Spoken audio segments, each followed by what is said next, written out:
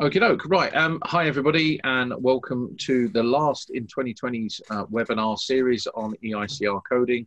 We thought we'd end the year with something a little bit different and unique, something that's heavily debated, and a, a, a subject that is very passionate with our very own Dan Jackson.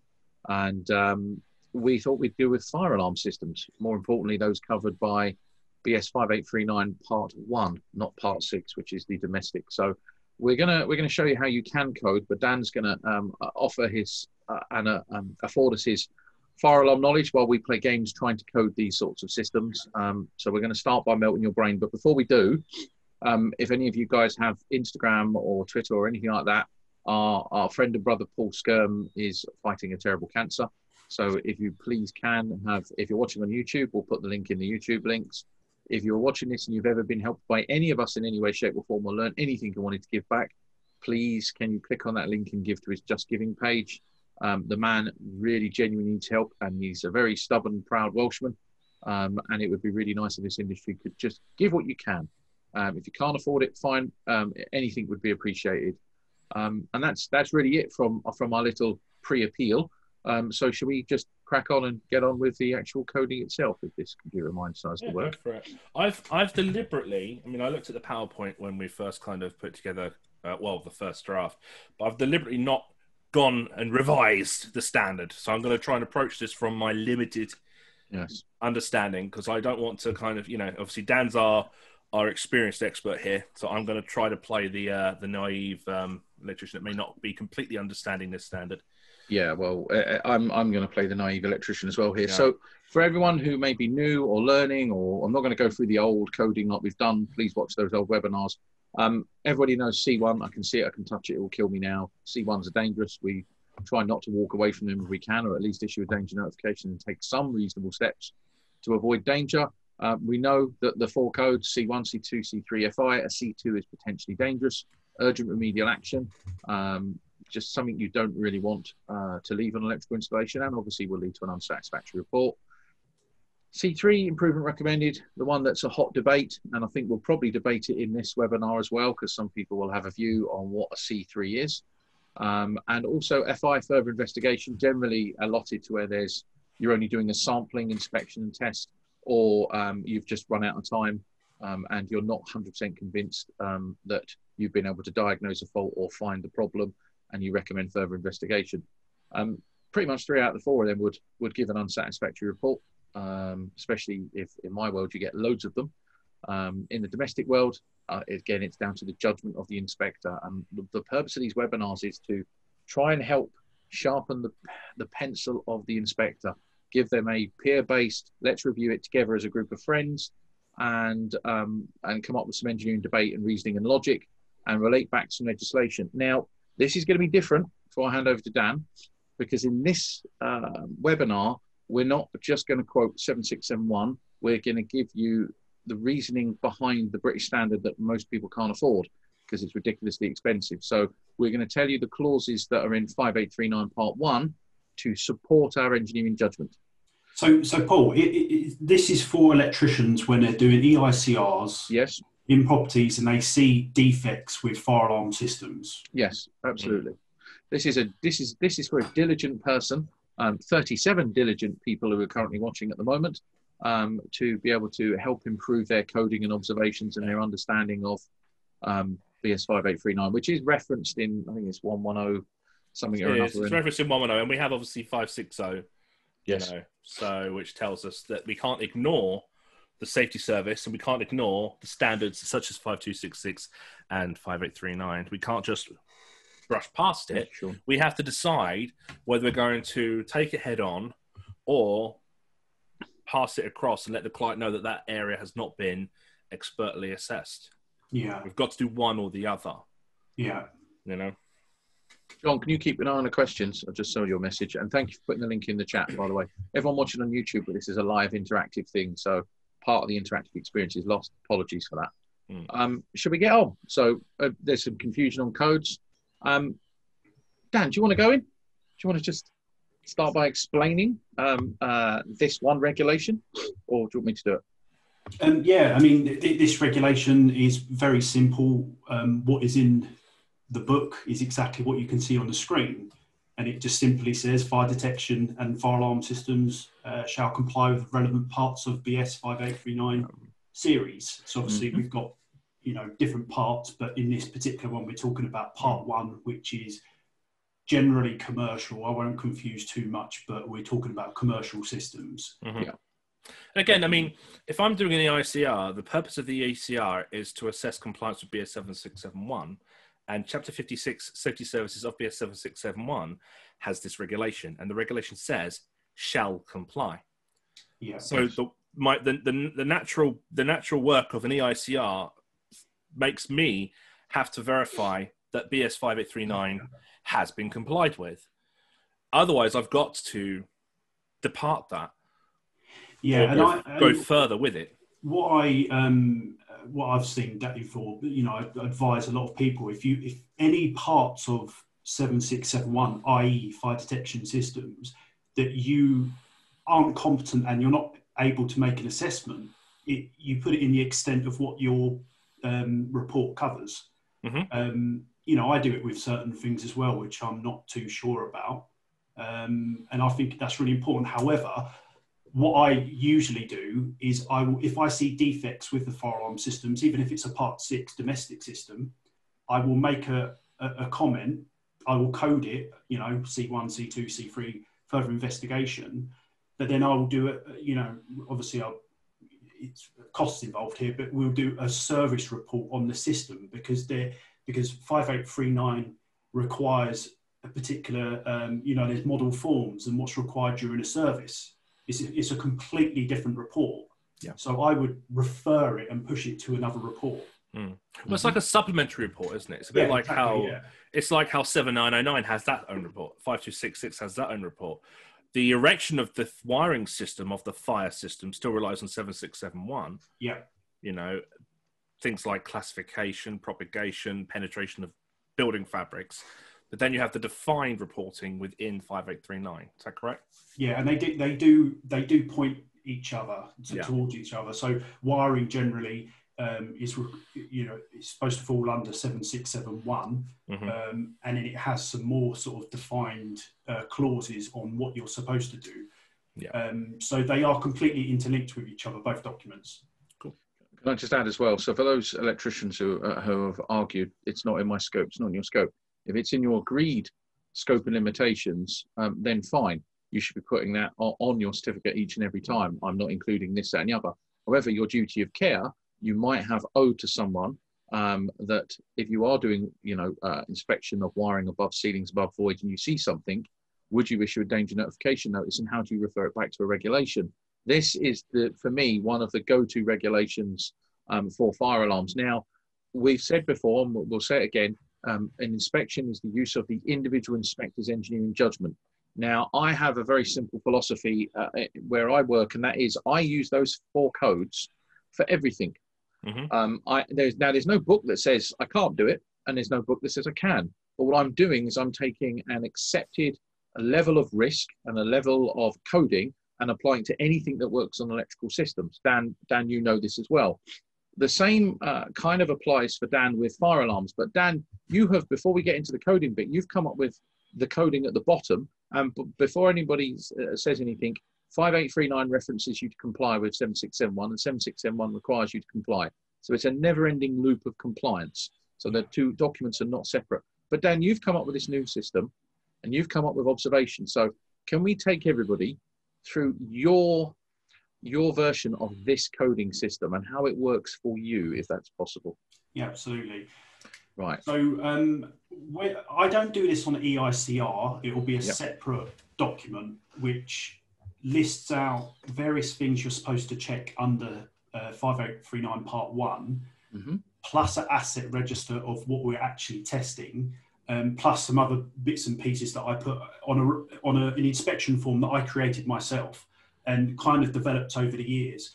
And um, it, it's the it just it's the same stuff that you know we're doing a lot of EICRs, we're doing a lot of fire alarm servicing, emergency lighting servicing, and the coding system years ago. It, it's always made sense to code it on severity. Um, you've you've used your own engineering judgment to redefine what these codes are. Yes, but with by matching the intent of what the C1, C2 was. Exactly, yeah. So um, C1, um, it's obviously that's the uh, the danger code, if you like. It's defects found with the system that prevents the system from functioning to its intended design and or to the relevant British standard. Um, long story short, if there were a fire, the system isn't going to work.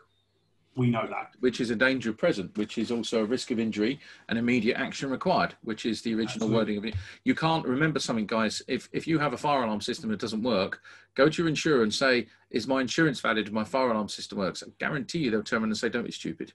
Yeah, it's an immediate risk. Mm. Right. So we got the C2, which is defects found with the fire alarm system that could prevent the system from functioning to its intended design and or the relevant British standard. So it, it's a C1 could be something like um, the panel is not working, it's not on. It, it mm-hmm. could even be the the battery backup is uh, or the batteries aren't present or they're not working or something's wrong with with the system that prevents it from doing what it's supposed to do. But right. C2 is something that could. It's so again, we're using sort of an engineering judgment here. We know C1s it will not work a lot of the time we're going to have C1s with a firearm system because um, 5839 is quite black or white. Um, so there's going so be... would that be a, a, damaged loop, for instance, a fault on the fire alarm panel? Because that would that could potentially it, the system wouldn't operate as a working panel if there's an existing fault and and it's yes. all muted and silenced. And it, it, could be something like which electricians might come across a lot. It could be an earth fault that's mm. on the panel. It doesn't mean it's not working However, earth faults can prevent um, sort of data interference and it, it, could prevent the system from functioning. But again, sometimes you might have earth faults that are actually preventing the system from working. Again, that's why we've got this coding system. It's down to the engineer to figure out um, whether it's not working or it potentially could not be working. So this is your interpretation of potentially dangerous does, immediate remedial action required. Does could does could prevent also refer to the uh, the utilization of the system, such as people being able to access call points if they're blocked off and things? Yeah, absolutely. Or, yeah. So that again would prevent it being uh, effective. Yeah. If they're blocking off things like that. Okay. And then a C3 is parts of the system that do not necessarily prevent it from functioning to its intended design and or the relevant British standard, but would benefit from improvement for its ongoing use and maintainability. It, this might be something like we have seen um, detectors that are particularly dirty um, and contaminated. And when we test them, they work, they function. However, we're just highlighting here that obviously something's going to go wrong over time. So we're just highlighting it now. But again, if it was something that um, the detectors were contaminated enough that they weren't functioning correctly under a functional test, that would be a C2. Um, right. Sorry, or a C1. Sorry, you you you raise the severity of the coding. Okay. But if it was something that you know, we, we might find um, detectors or call points that due due to environmental or external influences, um, it could be a problem, but it's not a problem right now. So that's what we're using C3s for. So there's things that may diminish its life as well. Yeah, and, and also just the things like, um, you know, you, you might have um, incorrect sleeving um, and, you know, just stuff that doesn't necessarily meet the standards. However, we're just highlighting it to say that it, it doesn't meet the British standards, but it doesn't okay. mean it's necessarily not working or mm-hmm. could potentially not work. And then we've got um, further investigation. It's the same as you know anything else. It's things that um, we need to ascertain things. So it could be it could be certain um, aspects that we need to look into further. Um, if you take over a fire alarm system, you might find that you can't get access to certain parts. Um, and then, because the thing is with fire alarms, you need to understand the design to know if it's actually suitable and fit for purpose. Mm. But most of the time, you will never know that. I mean, the, the times you get paperwork is, I mean, I can, you know, I'm, I'm most of the properties that I over um, take over, less than 10% have got any form of paperwork whatsoever. So mm. therefore, we have to revert back to the client and say, have you got a specification? Um, what's your requirement, what's your insurance, blah blah blah, and then yeah. we kind of work it out like that. I, I, guess over time you may take over the maintainer of an exist, of a new client, and they may have an existing fire system in place that's been in place for eight to ten years. But three yeah. or four years ago, they changed the layout of their building, and so yeah. the so, but the zones weren't adjusted to suit. Well, well, actually, Dave, that is um, part of the maintenance uh, inspection schedule in mm. 5839 Part 1. Right. So, how many people do that? It's, it's part of the, it's what you're supposed to be doing. It's so, the model forms, it's in the standard. So okay. if you if you come in and that's why when you take over fire alarm system on day one, um, it, it's what we call a special inspection rather than just squirting some smoke up and testing the call points. It's a special inspection. We're highlighting any defects. So it's, it takes a little bit longer. Um, we need to know a little bit more from the client as well. And if you get no information from the client, you have to go back to basics and assume that the system is supposed to conform to everything we, we look at in 5839 part one. This is where it gets, it does get tricky. Um, but things like um, if I was doing a special, you know, a, a special inspection and there was a room where it didn't have detection, I would be highlighting that and saying, well, that's a C1 because we're supposed to, you know, it's supposed to be, um, you know, an L2 system. This room's supposed to have detection. There's no detection in it. Mm-hmm. Okay, so let's let's just go into the observation and we'll, we'll, we'll kind of show you exactly what we mean in the pictures and the coding because this is where it's going to get really fun. Observation, Dan. That's a new one. Or is it a new one? So I've again, I've used this for years when I've done um, EICR coding. I even do it now. I just write, um, you know, OBS as a general comment because I find anything that's in the uh, comment section on an EICR tends to get completely ignored and not looked at. So mm-hmm. I would tend to write stuff in here that isn't codable, but we're just highlighting it. It could be um, the the keys are um, are located in this room, or this is something. The conditions mm. when I tested, this is what was happening on the site at the time. So I just put OBS. It's just something I've done for a so long it's, time. It's a comment, but it's not a codable comment. comment. Yeah, exactly. Mm. Yeah, there's nothing stopping the engineer using his judgment to do that and call, calling it what he wants. Remember, the hmm. framework of 7671 is the minimum based on compliance to BS 7671. 7671 says, you know, the installation comply with 5839. There's nothing stopping you using your own engineering judgment working from that document. Now, on the screen, we got we got screenshots of what 5839 Part One. That's what we're going to predominantly look at which costs many hundreds of the Queen's pounds. 5839 Part 6 will probably come on to and do one on next year because that's a whole different world yeah. of problems.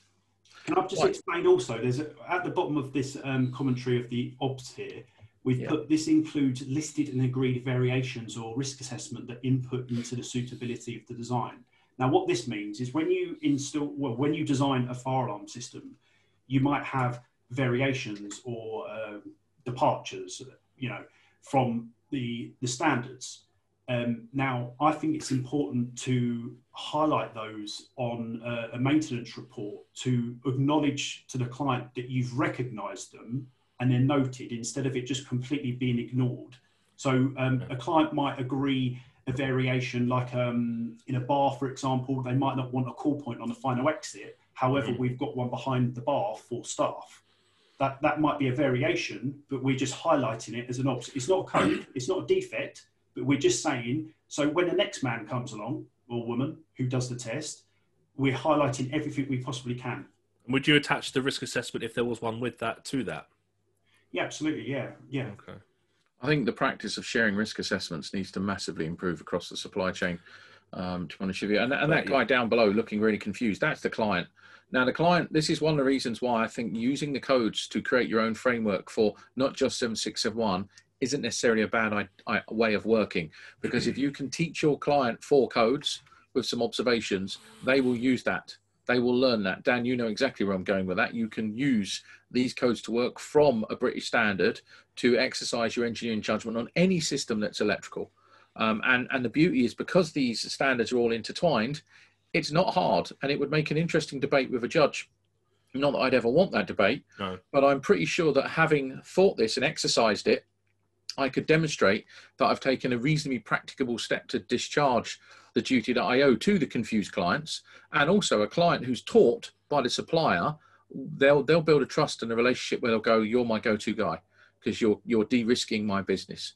So this is this is the reason why we're focusing on the commercial side in this webinar.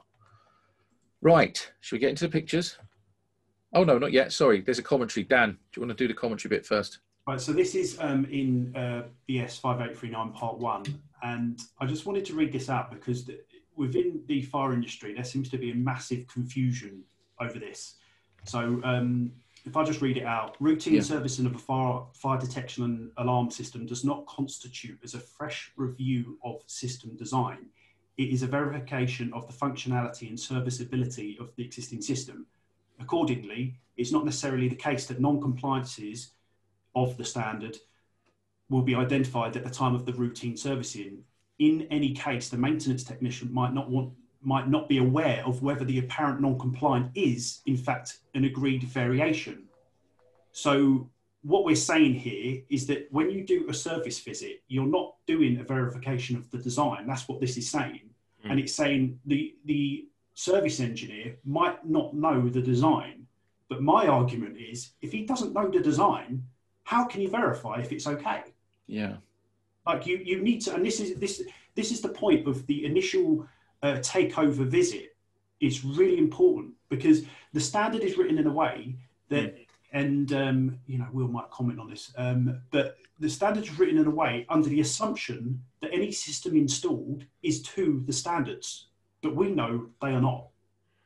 So you can't and you know, to be fair, seven six seven one does as well. When you're inspection and testing, it's based on the assumption that the the system installed met the standard, but we know it doesn't. That's why you have to use your engineering judgment here, because what a lot of companies do, they take over systems and they just test in detectors and call points and say yes, they work, but it doesn't yeah. mean it's a fit for purpose system.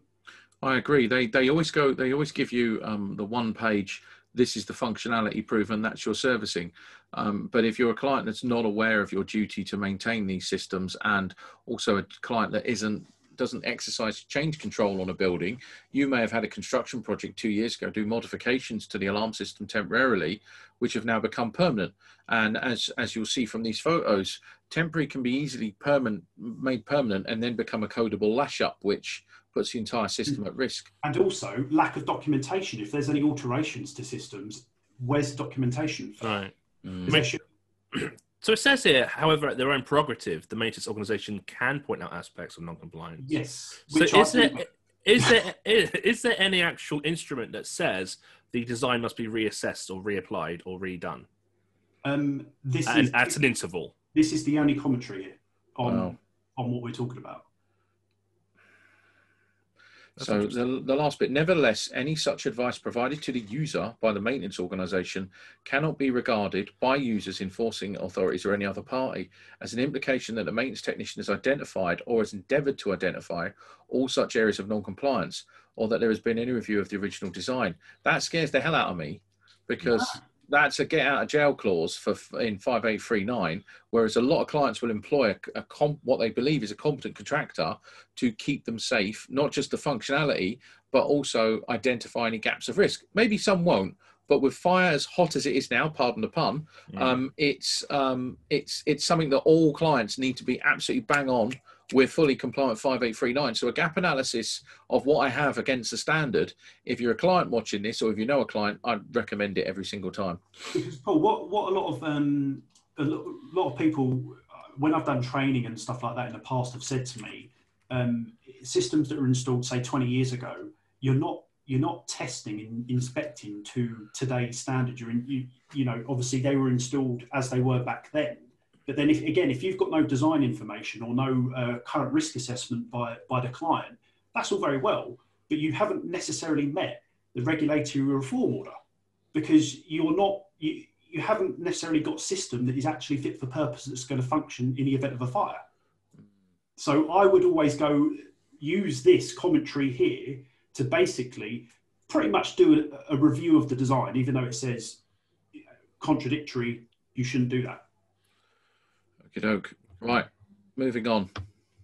So we're now into we're now into the coding. You're an inspector.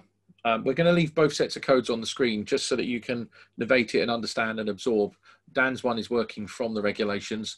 We can you can use whichever one you want, but for the purposes of coding, which I'm going to launch a poll now. Here we go, drum roll. So hopefully you'll see a code. If everyone can see that, just move that across. Um, take a vote. What would you what would you code that as an inspector of an electrical installation? Just walking on by, You see that? It looks like there's some obviously some thermal effects there. Uh, through box. Interesting coding coming through. I mean, um, I, I don't know where this photo come from, but obviously, yeah, it looks like might be one of the ones I was sent. I think.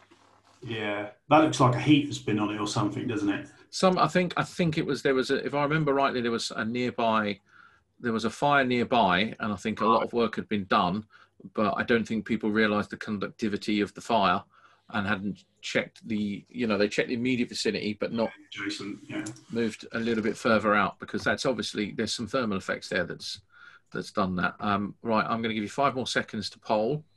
So 27 people 28. Come on, guys. Let's see if we can get all, all of you voting. Just a quick question, Dan, while people are voting for this. Yeah.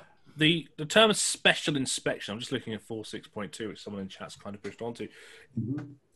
Is there is there an understanding of its def, of its intent or defi- definition? Because I'm not seeing anything in 5839 itself. I mean, what what when it says the term a special inspection.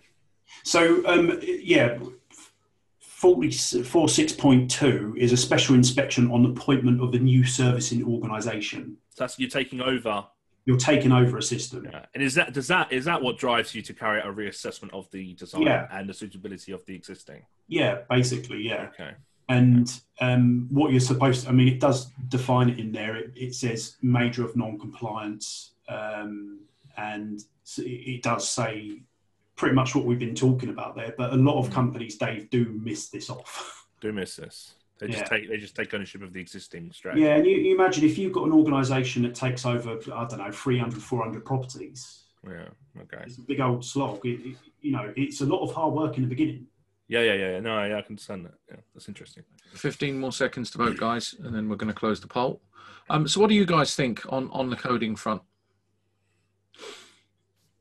So let's pretend it's still working. Worst case scenario. I mean, yeah. I mean, first of all, I want to look at the cause of this: uh, suitability of the detector for the environment. If this is a, let's say, let's say a worker's been in with hot works and it's created that, that just needs to be replaced. If there's another reason, it needs to be redesigned to suit that external influence. If that's a normal influence. Okay, so I'm I'm going to go with I'm going to go with a C2, potentially dangerous urgent remedial action, and the reason I'm going to do that is because I've got your dad in my head saying fire life safety system C2. Um, it would take it would take a, a very rare occasion for me to go into the world of C3 when it comes to fire, and well, I'm going to end the poll. In my mind, I'm double coding though because I'm C2ing it, but I want FI to find out the cause. Yeah, it's like it's like it's like that time. You can't do what I did, FIing everything. You'll it's like that time. Remember when we did the one with uh, Richard Townsend? We said about the plastic yeah. under the ch- under table. We can't just replace it. We've yeah. got to look at the cause of this. So C two immediately, and then an FI to actually then figure out what the yeah, cause. I mean, most is. of these probably FI. You can probably put FI on pretty much everything if you want, but uh, obviously, I mean, this one it's obviously melted, so uh, yeah. clearly it needs to be replaced even if it is still working, that's not really the point. So uh, yeah, yeah, we, we don't want to be FIing everything because you'll get a reputation for being me on the first one. Remember I FI'd everything and everyone was calling me the king of FI?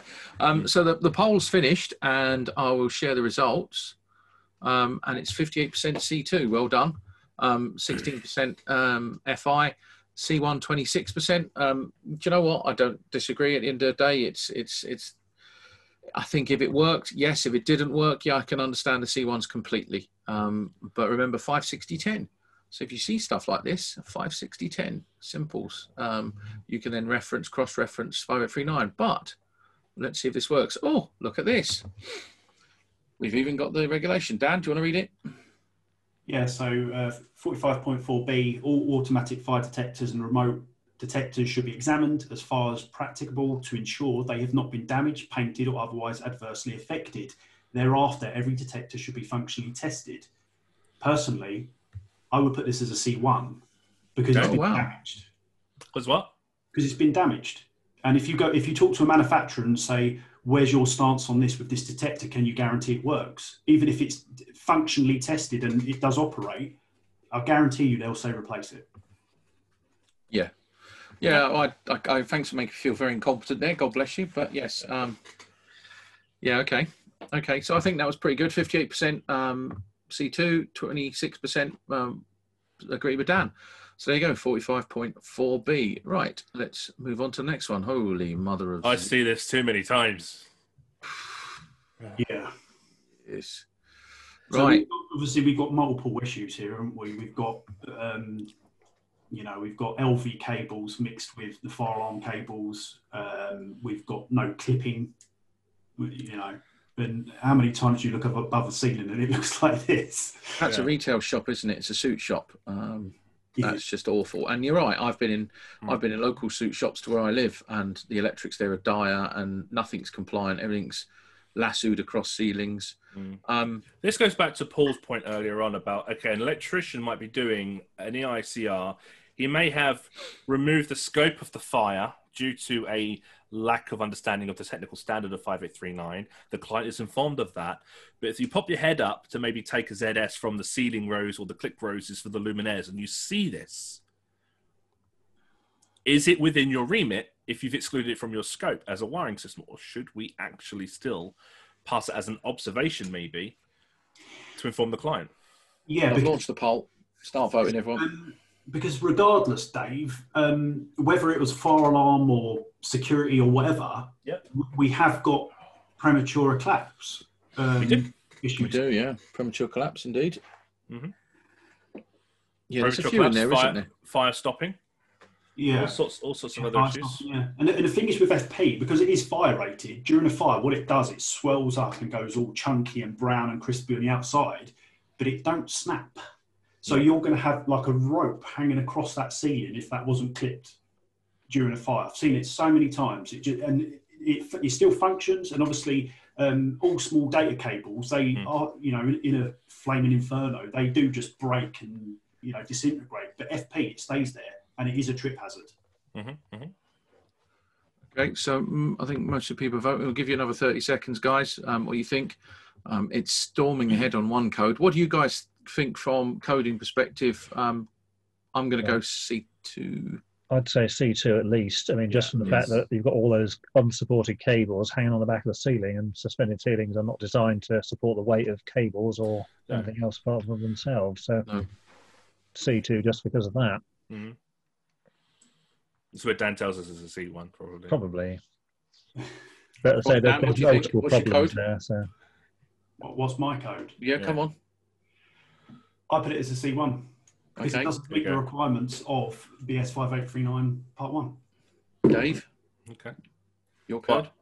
What's Well, your code? again, again, I think seven. It was seven six seven one. I'm at C two, potentially to C one with five eight three nine. Um, I agree. I, I, I'd agree with Dan. He's the expert on this one.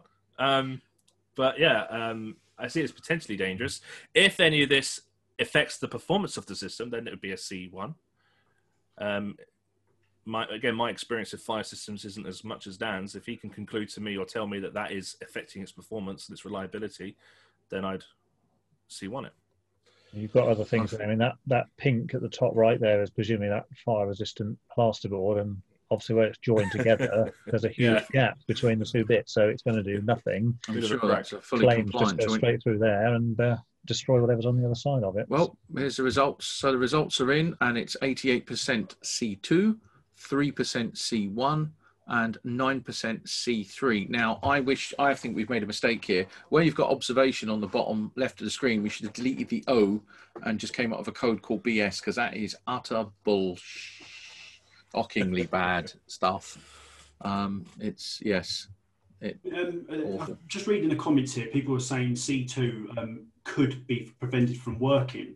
But what you've got to remember here is that system is to maintain a fire integrity of either standard or enhanced. So if we talk about standard, we're talking 30 minutes fire rating. Now, um, the idea is, is that the cables are supposed to be intact and kept there. We've got multiple problems here. We've got mechanical um, stresses because cables could be pulled, um, they could be damaged. We've got uh, premature collapse. We've also got, um, we could have interference here, which I have put on, um, you know, this the comments here on 26.2 to avoid electromagnetic interference with fire alarm signals. Again, if you speak to manufacturers and you say um, they'll issue, they've got some wiring um, data information about how you wire these circuits. Now, anybody who's installed a twin, Twinflex system, which a lot of electricians have, will know if you run the fire alarm cables next to LV cables, quite often you do get interference and they don't function how they're supposed to. So we're not following manufacturer's instructions either. No, and and just so just on uh, just to to mop this up now, we could have filled the screen with regs on this, but what we've done is is again 56010. That's the go-to. You will comply with 5839. Nowhere in 5839, I really hope Dan's going to. Does it say thou shall lash it in with um, no regard for anything? So we've looked at avoiding the risk of mechanical damage to fire alarm. Um, we've also looked at electromagnetic interference, and if you still want more, um, 52110 202, which is the UK regulation for premature collapse. There you go. There's a premature collapse regulation. So that's four hmm. parts of two standards that tells you straight away that is unacceptable junk. Okay, so, so Dan, right? The requirement of 5839 is to ensure that the wiring system will actually maintain its integrity for how long in a fire? Um, if it's a standard um, system, we, are talking 30 minutes, 120 okay. for enhanced. And so we could assume that that could be a fire underneath that ceiling point that's yeah. dropping all that ceiling. So if that wiring system is not fixed in a way that's going to, you know, help maintain its integrity, I can see where there could be a C1 area with that for me as well. Yeah. And, and again, Dave, I think a lot of people will argue with me on that, which is fine. But the, you wouldn't install it like that on day one, and that's no. not that's not something that's just been degraded over time. That was installed like that. I think it's a case of trying to understand the conditions which the wiring system is supposed to actually be designed for. Having yeah. FP alone doesn't automatically mean it's completely impervious to a fire incident if the structure and everything yeah. else is going to collapse around that and pull it down or damage it, isn't it?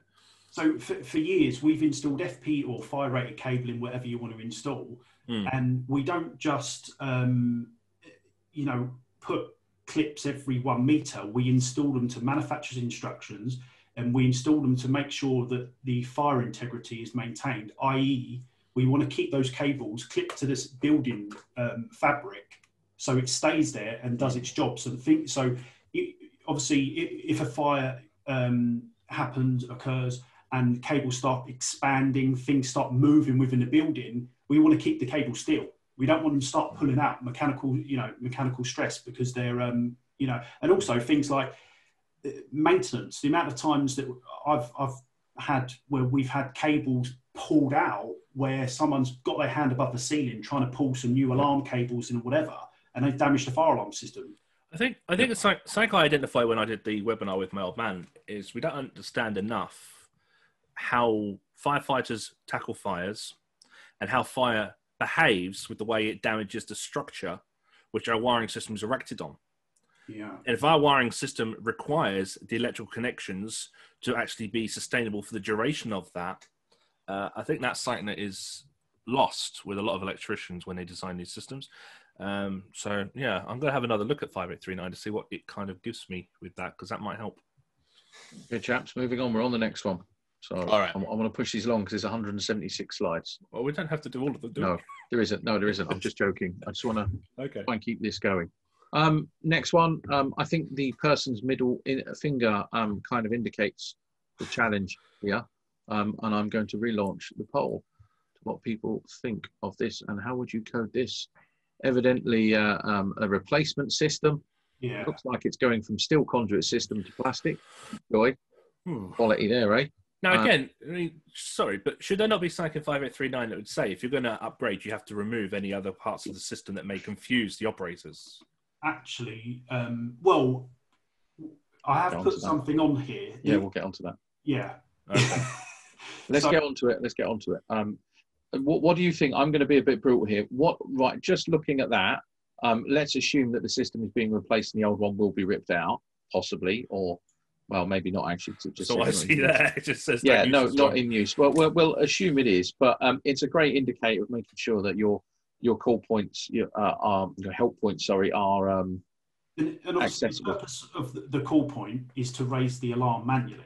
Yes. So we have got um, smoke detectors, but again, when you've got a fire, depends on what type of system you've got. This might this might be a manual only system, so yep. we might not have smoke detectors here. Yeah. But that it's evident here, if there were a fire And bear in mind, there's a fire. People are panicking, they're screaming, or whatever. You know, it, you know, it's not like we are now, where we're calm and collective. You want to act quickly, and if they can't act quickly, do you think they're going to operate the fire alarm and save everybody else in the building? Mm. Yeah, possibly not. Right. Well, there's still six, six, seven people haven't voted, so please vote if you can in the next few seconds. Um, I'm going to start off by saying I think that's uh, C2. Um, what, what, do you think? I know who sent in this photo are a friend well, of ours. Say it's a C1 because you can't. It's not working, is it? You can't use it. So I mean, it's it might as well not be yeah. there because you can't actually activate the thing if there is if you need to. So. Well, that guy can get his middle finger in there mm. to an extent. I think maybe that's why he's using his middle finger. Um, there's a lot of questions around it. I, would see to it FI it um, without a doubt. Just just as part of my duty of care, I'd note it on the certificate and wait 15 years for somebody else to probably it. Oh, that, yeah, that needs to be done. But I would, um, I'd at least see to it an FI. Um, I'm going to end this poll. Okay. Display the results. And the poll had uh, uh-huh. C1 46%, real. Oh, it's a good good mix. C2 43%, um, and 11% C3. Interesting. Do you know what? I, I I can't actually because it's fire. I can't disagree with all of them. But your dad in my head says anything fire. Um, okay, if if the story was yes, it's being ripped out, then yeah, maybe C three. If it was still not commissioned, etc., then fair enough. But yeah, there are there are questions to be asked of this. Um, Dan, is is there anything in this in the fire industry that says there's more risk here if you didn't have automatic detection than if you didn't? So if I had automatic detection in the same room, would there be a lesser concern here? Um, I think they serve different purposes. Um, right. Because, I mean, I've always been taught the best fire detectors are people. Yeah, um, yeah. Yes. But, I mean, automatic can fail, can't it? Fundamentally. Of course it can. And the thing is, you might have um, a kitchen that's caught on fire and it's, or at the st- early stages of fire where it's forming smoke, but it doesn't mm. necessarily mean the heat detector is going to go off. So in yeah. that instance here, let's say that was was in that scenario, the quicker thing is going to be pressing that call point. And if you if you're struggling, you is fire's all about reaction. You want to you want to get people out and you want to get the fire and rescue to the premises. Mm-hmm. Mm-hmm. So we're delaying time here by blocking it. Now, if that didn't have a cover on, I wouldn't say it's a problem. Um, other than I would note down that you know that that call point not in use, it's not a durable label, um, and how long is it you know is it going to be there? Because I have seen instances where this has been left like it for five years. would would would you would you as the engineer not be duty bound to block this off at least, or blank it off, or make it so it doesn't look. Right, that tape so, can just fall off. So yeah, yeah. I mean, there's um, I can't remember exactly what clause it is. I think that we've we've written another one, but okay. there there is a clause to say all call points should um, be the same type throughout. Um, now, this is obviously where we're doing a changeover system, so we're taking one out, we're putting a new one back in. Yeah. There's I've, I've been I've just, in, in fact, we just installed a system where they wanted the old bells kept in place because they're huge. They're about 250 mil wide, and the redecoration cost is, is you know, ridiculous for this client. So um, they want the bells kept there. So we've put it down on the drawings to say that it's redundant equipment, but really I'd like to see it removed, and I can't find anything in the standard that says they have to be removed. Interesting. Dave, what was your code for this? Again, uh, immediate C2, but if if that is not functionally operational, then C1 if you cannot mm. operate the system. Um, I think um, the clauses in 5839 are quite good ones as well. Mm. 45.3, all manual call points remain unobstructed and conspicuous. And also 20.2, all manual call points should be fitted with protective cover, which is moved to gain access to the frangible element, which is another word for your book, Dave. Frangible. Yeah, frangible. Just, just, just stick that in as many times as we can. I like like these fancy words. Okay, let's um let's move on, guys.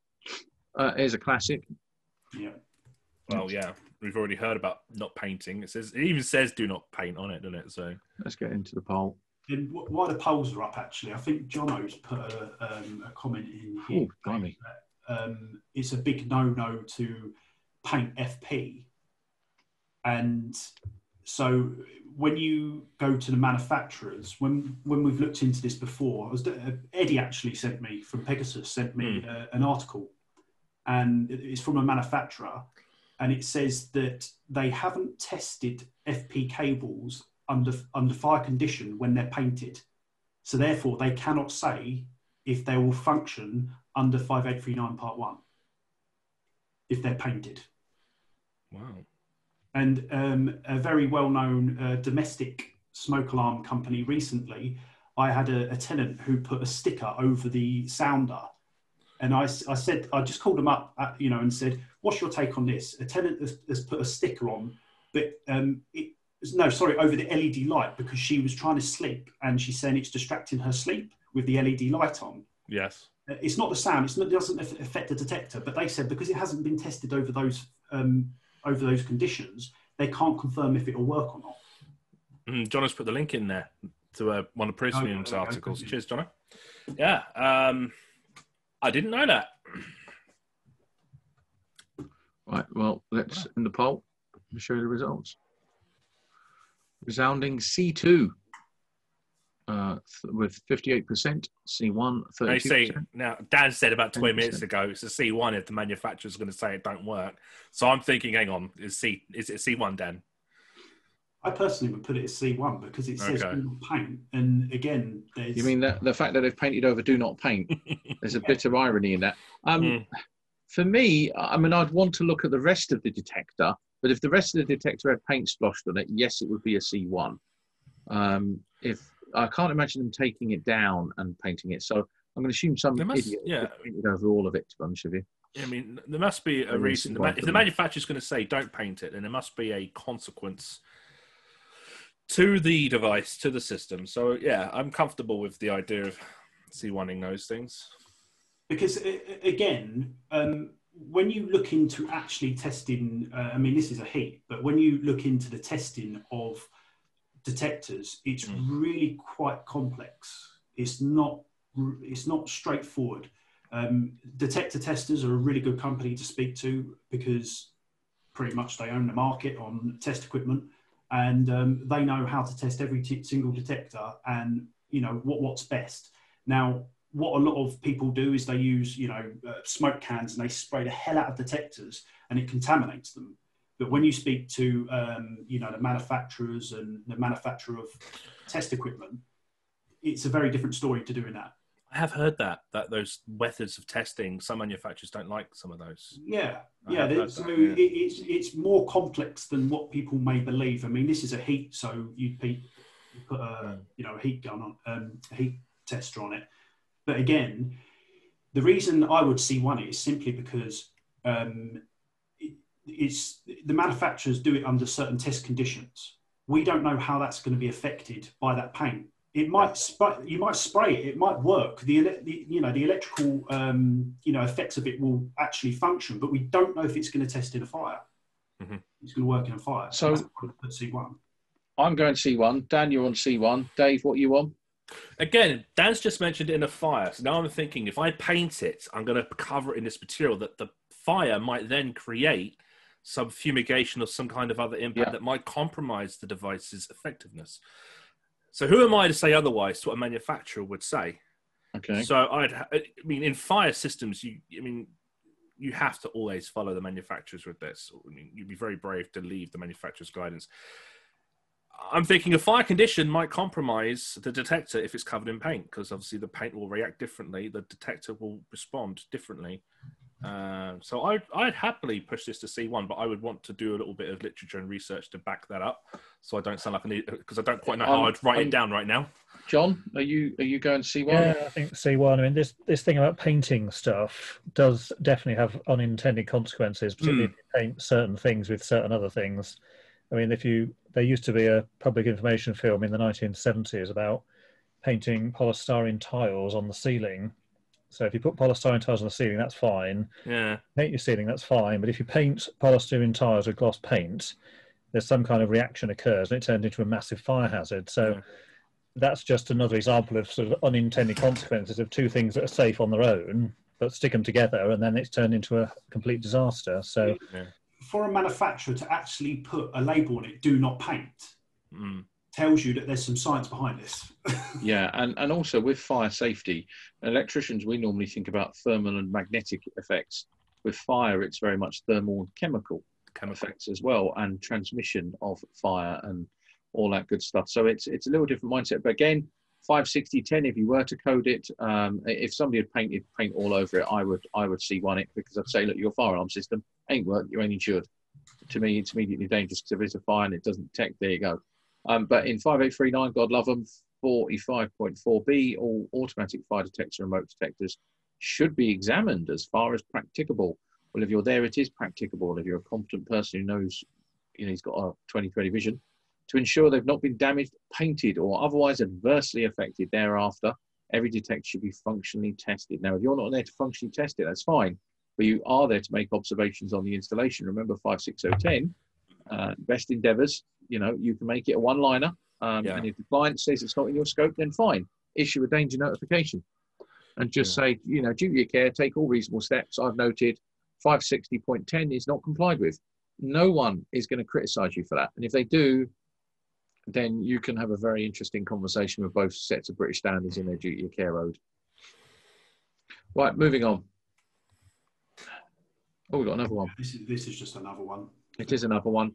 Um, again, I, oh, yeah, so this is the exact same one, but heavily painted over. So it's even more paint debris. There you go. Um, oh, here we go. Let's run the poll for this bad boy. All that. Well, first of all, the label. The label is just this the wrong. It's UV faded. Yeah. Um, yeah, screws are horizontal, not vertical. That's wrong. See, see, I find this an interesting one because um, a lot of fire alarm technicians, engineers, or operatives, or whatever, a lot of them aren't too familiar with seven six seven one. Yeah.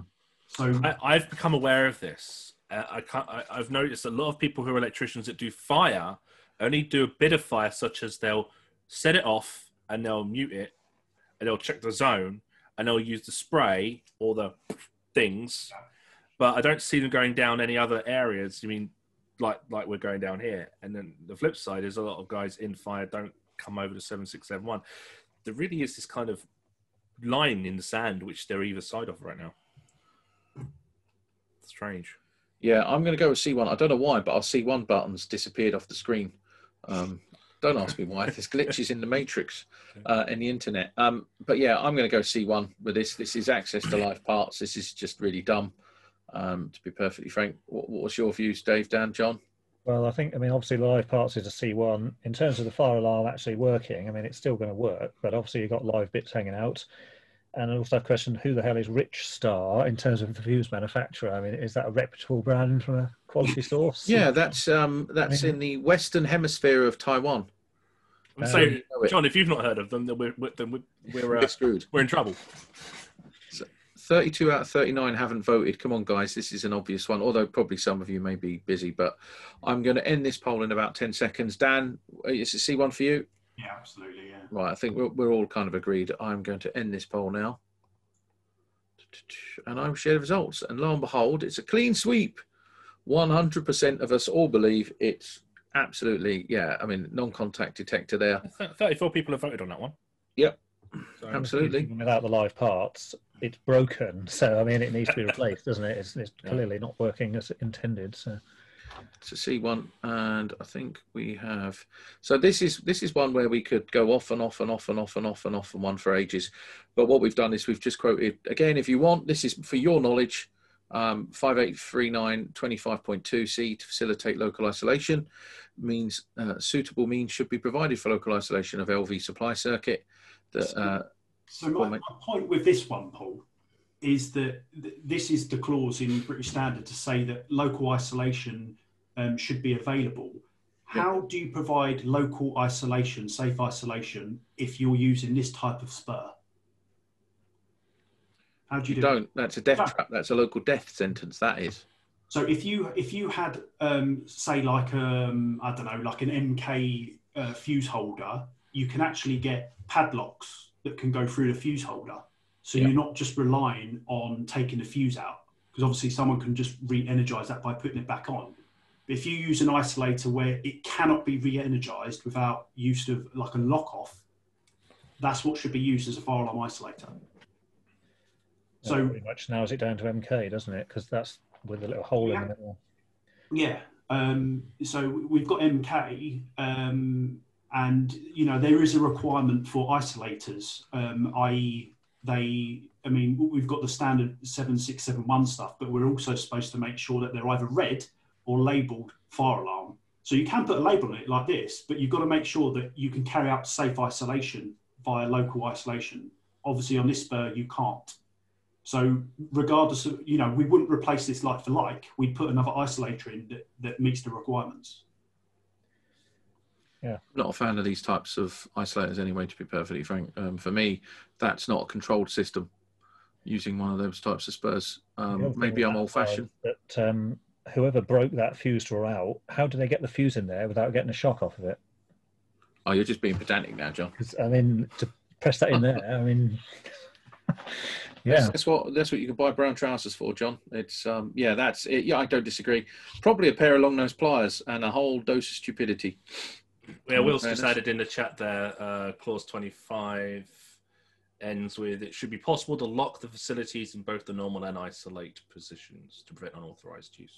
Yeah, I mean, we've only put a little bit of clause 25 in because you can. This 5839 has a lot more than what yeah, yeah, 671 does is in common sense. But again, safe isolation required under EAWR. You know, we can go into 12, we can go into 4, we can go into any part of the EAWR we want. Um, again, it says in section 45, inspection and services, the EAWR kind of safe isolation is carried out. That's not safe isolation. You can link that to a statutory obligation. But in fairness, if you actually do your work with your coding and you understand the intent of the regulations, you should always be able to create a line of sight up to the legislative obligation. Um, we will do a webinar on that next year. And we're going to cover chapter 13 just as an example to show you how our mindset works with creating a line of sight with what we call the hierarchy of legislation. So that will be next year's um, webinar. Right, oh, see one pop back in. Great. Yay. What the hell is this? Ugh, someone paid a lot of money for that. We've got um, we've got a call point here where the break glass has been broken, and what they've done is they've turned it around and put it back in place so it doesn't constantly go into fire. Lazy. Very lazy. Right. So there's bits missing presumably then. So it's not it's not it's not it, working not, then. Not missing. What, what, what, what it is? So that that break glass has basically been broken, yeah. and they've just turned it around. So in theory, you could press that and it will go off. Okay. But obviously, it's um, again. But are we supposed to have the instruction press here on these? Yeah, yeah. Um, I can't remember what clause it is. But... You get your sharpie out and write it on there. Would that be okay then? Yeah. But it's to indicate the, the point that you press mm-hmm. um, to activate the alarm. Um, and obviously, it's you know it's signage, if you like, um, and it's important during fire. We need signage. We need clear instructions or what we need to do. Mm. So, um, so this one, um, yeah. The manufacturer happy with that?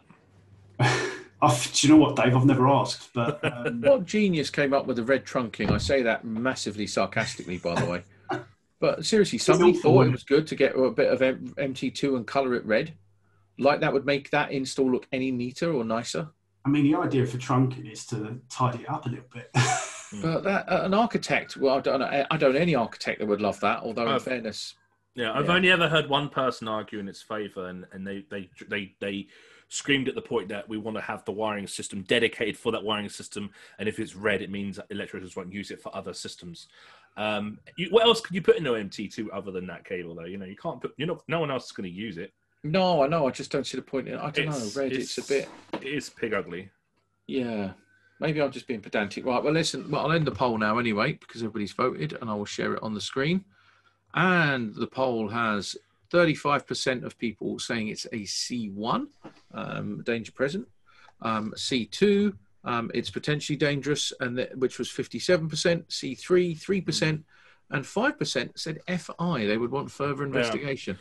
Yeah. That's probably who the idiot is that done that. I mean, something I can see in the image is this is right next to a fire door. Yeah. So this is the point of exit of the building.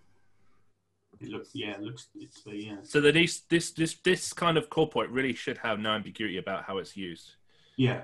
And But that- because to, look- to me that increases the risk a little bit that it is the one that you want people people are going to aim for this door you want that call point there to operate and not be hard to interpret other call points that people may pass if they're going to a funnel position of an escape door that last call point must be confusing Yeah. Well, um, guys, what are you coding it? I've I'm I've put it as a, a, a C2 to be honest with you. Um, what do you think, Dave? Oh well, it's initially C two, but the more I mean, looking at the layout of the building and how it's used, and the likelihood that this would be used, and the potential of confusion, I may push it to a C one if it's going to compromise the actual effectiveness of the system. Yeah, I'm assuming that would still It's- work if I it's- pushed it. By the way, Yeah, but who's yeah, but does everyone know to push it if No. they can't see that? That's the Right, so- question. So we should have spares on site. So Or you, or you see the bit of sellotape kind of holding the, the glass together, or a lollipop stick Seen I've seen before. I've seen I've seen cocktail sticks Cocktail sticks, yeah. you know, on the back. People have put. So um, I mean, in theory, if you're maintaining this, um, you should have spare spares on site anyway. So you you know you should be able to replace it.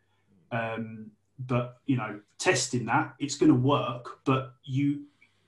The problem is you can't leave a system in fire. You can't walk away, and there's massive risk of this that it's going to um, it's going to cause a false alarm or unwanted alarm because um, and that causes a lot of complacency. The more we have fire alarms going off when they're not supposed to, it causes complacency. It causes people to think they're a nuisance, and then they misuse them. So Mhm. you know we see things being turned off. Um, so forth. Ev- even if you're going to the wholesalers to get a replacement, there's a valid comment from Dean. If you if you work with fire alarms, you'll have done this while going to wholesalers to get a new one. I would argue, if I was a judge, and say, well, if you work with fire alarms, one, why don't you keep a stock on the van? Um, and two, if you did go to the wholesalers to get a new one, fair enough, because it may be a special, something you need, have you told the responsible person for the building what, what the risks are? Have you have you done that before you've left the building? It, it doesn't matter if the wholesaler is five minutes away or two hours away. Um, but it's a valid point, um, uh, Dean. To be honest with you, I, I probably wouldn't do that, um, and I wouldn't condone that. I would make sure there were plenty of spares. Um, for those who, again, who are coding this, I mean, I think, uh, Dan, what was your code? Was it C one, If I was maintaining this, I'd have a spare. So I'd Okay, would- give me a code. Come on, this is a coding game. So I would actually code this. I would change the spare. Yeah. And then I would code it a um, C3 for not having a plastic cover.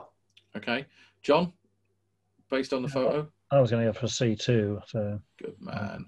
Well, 5839 45.4, the switch mechanism of every manual call point should be tested either by removal of the frangible, our new favourite word, insertion of a test key operation device as it would be operated in a fire. 20.2, all manual call points should be fitted with a protective cover, which is movable to gain access to the frangible element. And then 35.22a, this part of 5839 recommends manual call points should be fitted with protective covers. While the recommendation is not retrospective in existing systems, um, which there is frequent unwanted operation of manual call points, protective covers should be fitted. I, I'm starting to like 5839 more than I like 7671. I find that I find these smaller standards are written by a fewer pool of people and they make a lot more sense. Yes. Yes, just remove the Teflon bits um, as we Yeah. talked about earlier on. Right, moving on. So, next one, and this I think was sent in by our good friend from the Welsh Valleys. Um, so, yeah. Uh, do you know what jumps to mind straight away? That's under a floor. Look at the state of all that rubble and crap. Has no one got any pride anymore? Clean it up, man. I think Disgusting. I think Jono said that this is an extension, an alteration for a sounder, I believe. Um, so Okay. they've altered a, sounder circuit by Do a bit of twin and earth. bit Got a twin earth and a Twin bit Earth linking that. Yeah. Wow, And that's just pants. And going to the left, the FP is, is that is that squashed? Is that notched or underneath the beam or what? It's not going through it. Um, it, I don't know. It looks like it's going under, doesn't it? under the beam and yeah so that's interesting okay so mainly yeah we've got a different cable type here haven't we I said it was done on the original install. It's under the beam. under the beam Oh, Jesus. um, I don't know if everyone can see that, but that spells lash in, in many languages, including Welsh, Scottish, and English and Irish. It's just dog crap. Um, I yeah. Uh, let's just run the poll. Let's run the poll. We've seen enough. yeah. Jonathan's put the sounder is another two feet away from this. So uh, yeah, it was just an extension to the existing thing. And they've done it for some reason in that. Uh, I am going to. I'm stuck between. Can we do a C one point five? Is there such a code? Is the space below um, habited fire risk for the ceiling above below? Do we know, Jono? Is there a risk? What, what are you thinking there, Dave? Well, just in case there is fire, and then the, the ceiling, and then the wiring system here is subject to the fire conditions, likely. You know what I mean? Yeah, I know exactly what you mean. Yeah. yeah. So, so, so what you're saying is, is that if this was an enclosed floor, essentially you've got some form of fire barrier. For the well, if it's, it depends on obviously the barriers. Yeah. But obviously, if this is under the floor, then depending on the fire risk, yeah, as to where it goes. I mean, obviously, fire propagates on the ground as well. And we don't know if there's any downlights, you know, that could cause fire within the void itself. Yeah, it's, yeah. so any I, other risks like, in the void and things like I'm that. I'm not a big fan of seeing, and again, I'll say it again, it's my OCD, but I don't like seeing rubble and dirt and dust and wood shavings and stuff left under floors. Well, the, the problem is, is they've pushed it down a hole. What you need is another hole to push yeah. that down. So, you know, down to the, the room below. But yeah, what I'm what matters, I'm at C2 and I'm trying to determine if there's any other measures or so considerations to go up to C1. Okay, so yeah. Dave, if, if there was a fire in this room, bear in mind this this might be a circuit for a sounder that could be doing a large proportion of the building. There it could be a sleeping risk. This could be an HMO, for example. Mm-hmm. Um, there's a flaming inferno in this room. Yes. Do you think within the void it's going to heat up? Oh yeah, yeah. Well, Jonathan, it is an HMO, so that's that's exactly what it is. It's six bedroom, six bedroom HMO. C one then. Porch. What's the C one then? Yeah, I'm I'm pushing towards the C one as well. Right. Well, I'm ending the poll now, and I'll share the results. That's enough. And share the results, and 69% have stated it's a C1, and 31% have said it's a C2. No C3s, FIs, or anything else. So I think that's pretty conducive there. Um, good coding, good observations from everybody there, I think.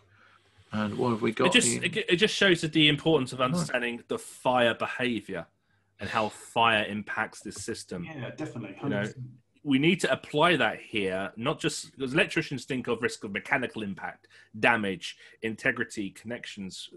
We don't always think about the fire because obviously we we rely on 5839 for that. But here we need to consider that, and that cable would, yeah, wouldn't last long at all if the fire was at this point. So this or is where we kind of it's where it chips into a really important part of 5839, like 56010, um, and this is this is the the the never-ending loop back. 37.2a, the entire system should conform to requirements 7671.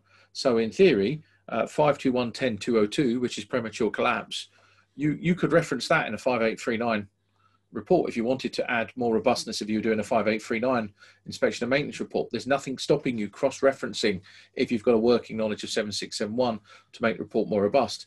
There are recommendations to this standard supplement, but do not conflict with these requirements. Whereas any such conflict is considered to exist, the recommendations of this standard should take precedence. Why? Because it's a fire safety hmm. standard.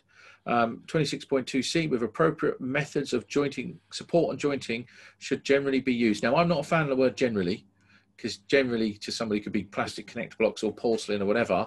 Yeah. That, that twin and earth is not a fire um, survival cable in any way, shape, or form, no. and neither are those plastic connector blocks.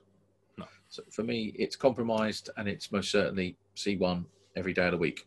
But you can hopefully see now we're doing this. There's an absolute synergy and interconnection between the two standards. So when, if you say to someone, "Oh, the fire alarm, I want to code it like this," and someone goes, "Oh, don't be stupid," mm. No, you're not. Again, adding to this, this is likely to be an electrician doing. So, let's say in the future, an electrician may find this yeah. when doing work. Yeah. A fire engineer on a maintainer doing maintenance won't discover this in routine testing, will they? Mm-hmm. Right. You, you, how? Yeah. How could they? They. Right. Very likely that they wouldn't. Right. So fundamentally, the the electrician needs to have that extra method, extra understanding of who else is going to raise this concern. If the fire maintainer is not going to discover it with regular testing, then I have to right now, and I have mm. to understand how to address that. And also, that's the purpose of the red cable. So we know that it's a, a life safety system. Mm. So you know, even someone with little knowledge can look at that and go, "That's a problem." Like the way it's been jointed is a problem. Mm. And the other thing here also is that I very much doubt these systems are in, tested by manufacturers again using twin and earth cabling. Hmm. In the 5839 inspection, we're probably earlier. I, sorry if we, if we come into this. Is there a box that we tick to confirm this kind of thing or to code this thing if we see it? Um, y- yes, there is. Yeah, because okay. it's, it's just like a. Well, hang on, Dave. Let me think. No, it's more. It's more. This is more comes under section two, design considerations, which okay. will which lists out um, which cable to use. All right. That's cool because obviously, you know, my software that I'm developing, I'm thinking I need, I'm going to add some kind of handshake between 7671, 5839, 5266. So when you see this on your 7671 EICR, you can add a COMAT to 560, but then you can go to the inspection requirements of 5839 and just then. I'll, sh- I'll share you my um, yeah. my inspection schedule. Yeah, yeah, yeah, yeah. Right, moving on, chaps. Um, forgive the noise. There's a helicopter above my house um, for some weird reason. There's a football match on tonight. What can you do? Um, right, next one. Um, lash up. Just words mm. fail me how bad that is, and whoever did that just wants. So they look like MICC cabling. They do. Into the back of what looks like a uh, yeah back entry conduit box. Yeah. With a dome lid, um, and rather than screwing a, a, a hook uh, for a jack chain, they've just screwed a, an FP200 gland, and no doubt there's a connector in there, or maybe some twisted ends and tape. Yeah. I'm but again, yeah. Again, uh, I'm immediately, you know, this this happens a lot where engineers don't want to play with MI or touch MI, and they'd rather just try to put it over there out the way. You know, yeah. this does happen a lot. Um, but think about what we said earlier on. You know, in the fire condition, when the structure of the building is going to start changing, the ceiling may go down, the ceiling may have some structure, or other people working below moving this this is at risk. This is at risk. This this is an old system, and they're upgrading by adding an extra detector. And what they've done is they've taken an FP um, four core mm. off the um, the two two cores, which um, again could be a problem depending how they've extended it. Because if you um, you know that that four core, if it's damaged, if something goes all the way through that four core, do you lose integrity? Yeah, it could take out. That might be a complete, I don't know, section of a loop. Like it could be a whole annex of a building. Mm. So is there is it better to have your loop in separate conductors, not in one multi-core cable, where it could lose its integrity in one slice? Yeah. That makes sense. It, it, it, kind of depends, Dave, how it's yeah what's on the other end. But yeah, you know, for, in in some circumstances, we've installed in heritage buildings, we have used a four core for a small loop with FP off MICC, but it's been noted in a drawing, it's been agreed with the client, and it's had a, it's been risk assessed by a consultant, by a design, the designer, and everything else. I think, if, if you don't mind me chipping in here, chaps, I think going forward, eventually, there's going to be uh, um, not a divide, but a split in contractors. There's going to be contractors that go above and beyond, work from the regs, and there's going to be contractors that just do the basic hand drawn minimum 7671, 5839, 5266 certificates. There's so much more in these regulations when you work from the intent of them. And this is why inspection schedules, recording schedules should include far more. We've said before in Dave's webinars where he talks about, you know, R1, RN values to understand short circuit uh, current values of uh, of installations. There's a lot more we need, we should be doing understanding earth leakage from an installation. Uh, I'm I'm slightly disheartened that the industry is is years behind the mindset and and this is just applied engineering logic this is us understanding the regulations and the engineering solutions to understand the intent of the regulations and ensure that we walk away and we've given someone something safe and fit that we're proud of mm. more importantly as a client i don't want my contractors giving me a 7671 certificate going there you go it meets the regs i want a contractor going there you go this is this is it doesn't just meet the regs it actually is worked from the regs and here's all the extra information we give because we want to do a proper service I think um, 5839 Part 1 is quite robust, to be honest. It's quite, everything that's in there is um, how a system needs to be installed. And the only time you're going to change that quite often is a variation because you literally cannot put a detector, for example, in a small room with um, an air conditioning unit.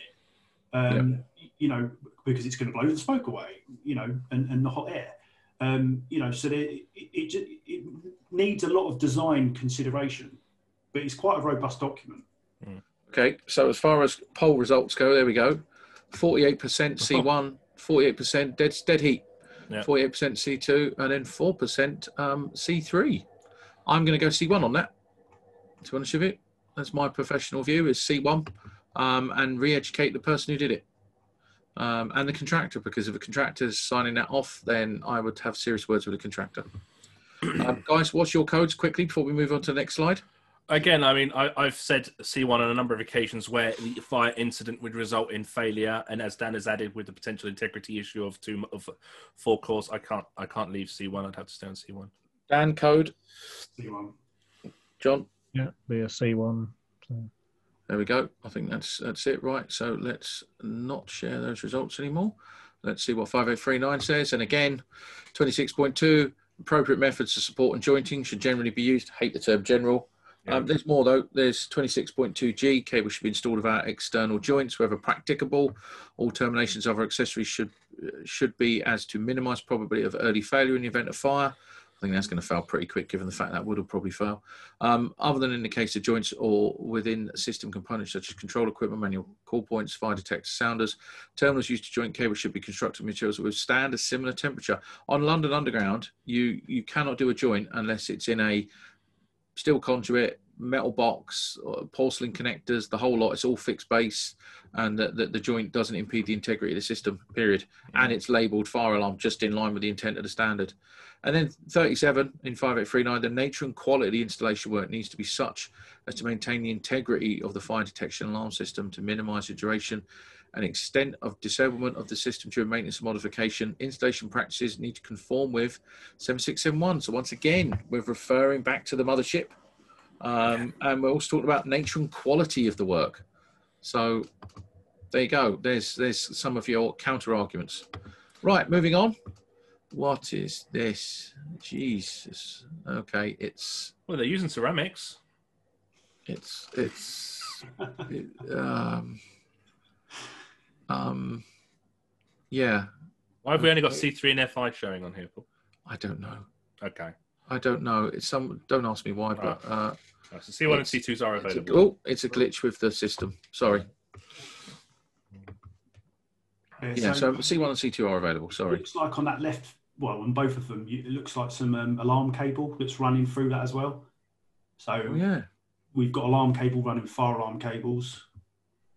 That's bad that's that's a that's a lot packed into a mt2 there that's a And I just said we won't normally put other things in MT2, didn't I? Jesus Christ. you did just say I that did dave just so, say that. yeah, I'm sorry. said that yeah take There that are, back there are very Right. special people out there, apparently. Let's everybody code that. I think this will be a quick one. Um, I, I will be devastated if I see a C3 or an FI. That's why we left it on the screen. Don't pick those codes. Not that I'm trying to tell you engineering judgment, but that's if it looks if it looks bad and it smells bad, it generally is bad. Is this, is- is this evidence of an engineer, engineer, just trying to hash it to get it to work again, or to get it to work? Is that the objective for them? well, if they wanted it to work, uh, would you genuinely pack it all in a bit of MT2? Would you not get a Well, junction box? if if all they're trying to do is on the day get it to actually make the noise when they set the button to then silence it, it- That to me looks like the the cable, the cable, the white cable was there, and they've cut it and jointed it to well, run. it's come through the wall. yeah, no, I, re- I reckon the red is new. It's come through the wall, and they're obviously they're either refeeding it or they're coming off of it in this trunking. Yeah. and they're using, you know, uh, plastic covering for fire rated cabling. Um, ironically, with, um, yeah, ceramic connector blocks. So they, they got it half right. Well, the 10 points for the ceramic, not. And also, the, you know, if you were to test those cables, look at the bends on them as well, how they've been, you know, forced around. Yeah, the bending very well, radius do of these cables is horrific, to be honest with you. Um, I- yeah, uh, section 522 other mechanical stresses. Yeah, it's just rubbish. It's Yeah, you could pretty much throw all of chapter 5 at them, to be honest with you. On this, it's just, it's poor workmanship materials, period. Um, right, I'm going to end the poll and I'm going to share the results. And you're going to be stunned by the results. No, you're not. 84% have said it's a C1, completely agree. And uh, 16% have said it's a C2 potential danger. Do you know what? Because it's so bad, I could only ever endorse a C1. It's just a bodge. It's a very bad bodge. And if that was your building, your head office, you would you would be shot if you were the responsible engineer and you found that on your installs and said, "Yeah, it's only potentially dangerous." You'd say, "No, that needs to be that needs to be dealt with. Let's get an engineer out and let's get that properly addressed and wired correctly." And it could easily be done. To be honest with you, it wouldn't be too hard to do a proper joint on that. And, but what do I know? Yeah, just a quick, quick question. So, I mean, I've just kind of run through in my mind occasions where this may be something that is like temporary. Is is there a strategy for temporary systems with fire, or is it just the full No. compliance of five eight three nine? There's no, There's there's, no- no, such thing as a temporary system. There's no temporary. Yeah, system. Dave. I don't like the word temporary either. Temporary infers you it's a lack more less attention and lackluster approach to it. Um, it's it go to me. Temporary is the same as that'll do. I'm on about the event industry Oh, right. where I well, see these falling uh, short a lot of the temporary time. duration. Okay. In in these events, I often just see extinguishers being used, and that's it. Unless there's a marquee that's up for a long period of time. Uh, if if that's your control measure, if you've done a if you've done a fire strategy in your fire strategies, you will have fire wardens with walking around with fire extinguishers and enhanced Hmm. alarm systems and all sorts. Whether they're just bells that people can ring, then maybe. But I'd I'd be interested to see the person who'd accept that. But Dave, if we if we think about this, if there was a fault on a cable, for example, and you had to make it, let's say let's say this was a temporary join just to get something working overnight, and Yeah. this was an engineer called in the middle of the night. Um, it's fair to say that yeah, he might not have the materials and everything required to get it up and running. Mhm. So what the process is is that you're supposed to revert back to the responsible person who's you know responsible for the fire safety of the premises, Mhm. and I'm just thinking if there was a fire here, what's the scenario? Because um, if somebody was to die um, due to a fire, bear in mind there's going to be a fire investigation. What was the cause of the death? So it, it's it, they work their way back, you know, and it's like, has this been installed right? If this was documented that this happened, you know, this temporary join was made last night. Obviously, the person who done this, they, they would be quizzed and say, why did you do, do this like this? And have you taken all reasonable steps to make sure that you're getting it up and running? Because of course, maintenance is required. Things happen. Um, so, you know, I think um, as a temporary repair, it, it, it goes back to the responsible person. What are they doing to make sure that we're getting the system up and running as quick as possible? I mean, so just just going through this, this is obviously glaringly a five six ten ten point, but five eight three nine's got three clauses straight away. Twenty six point two appropriate method support jointing. Twenty six point two, as we've just said about the uh, terminations. Uh, you know, doing a proper joint with labelled up fire alarm. Thirty seven, the nature and quality installation work. But just on the wiring regs alone, you could quote them uh, one three one one, the requirements of protection of persons and property against dangers and damage which may arise in reasonable use. I'm thinking good workmanship materials, 13411. Um, I'm thinking uh, 52110, 202, premature collapse. So there's straight away six regulations that can be referenced back to why that is so important. Never mind the duty of care owed to maintain a, a working fire alarm system and the insurer's requirements and everything else. It's, it's a no brainer. This is just a bodge, a lash, um, and sadly, I'm going to say it was done by somebody who evidently isn't qualified nor competent in the application of 5839 Part 1. Yeah, the, the problem with things like that is if someone does that, there's a danger that oh now the system works, so we'll just forget about it and leave it like that. Yeah. And it's the same with the electrical stuff. If it's all lashed together, oh the lights work now, the sockets work, then it will just get left like this for ten years, and that's obviously not acceptable. So Yeah.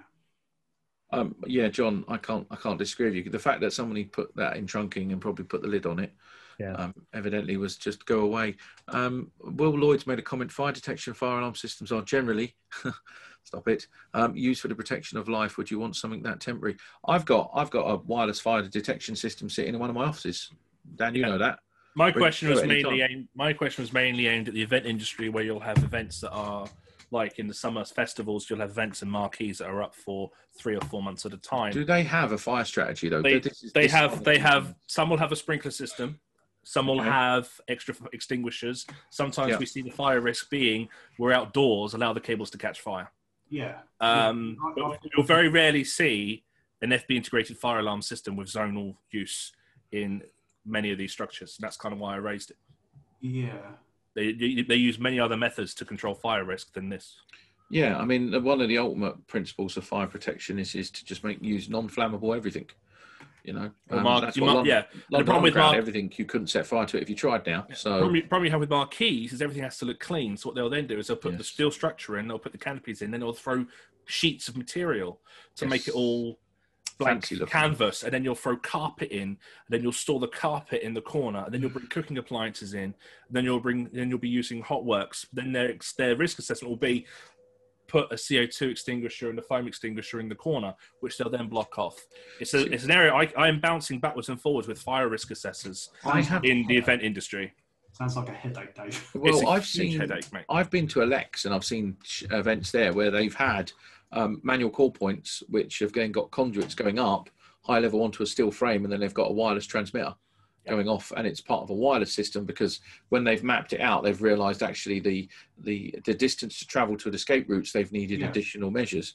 But that's good fire engineering practice. If if you're doing a, a weekend market, then it's potentially a disaster waiting to happen, especially if someone's got a load of gas bottles and it's at the point of access and egress, and nobody's thought about this.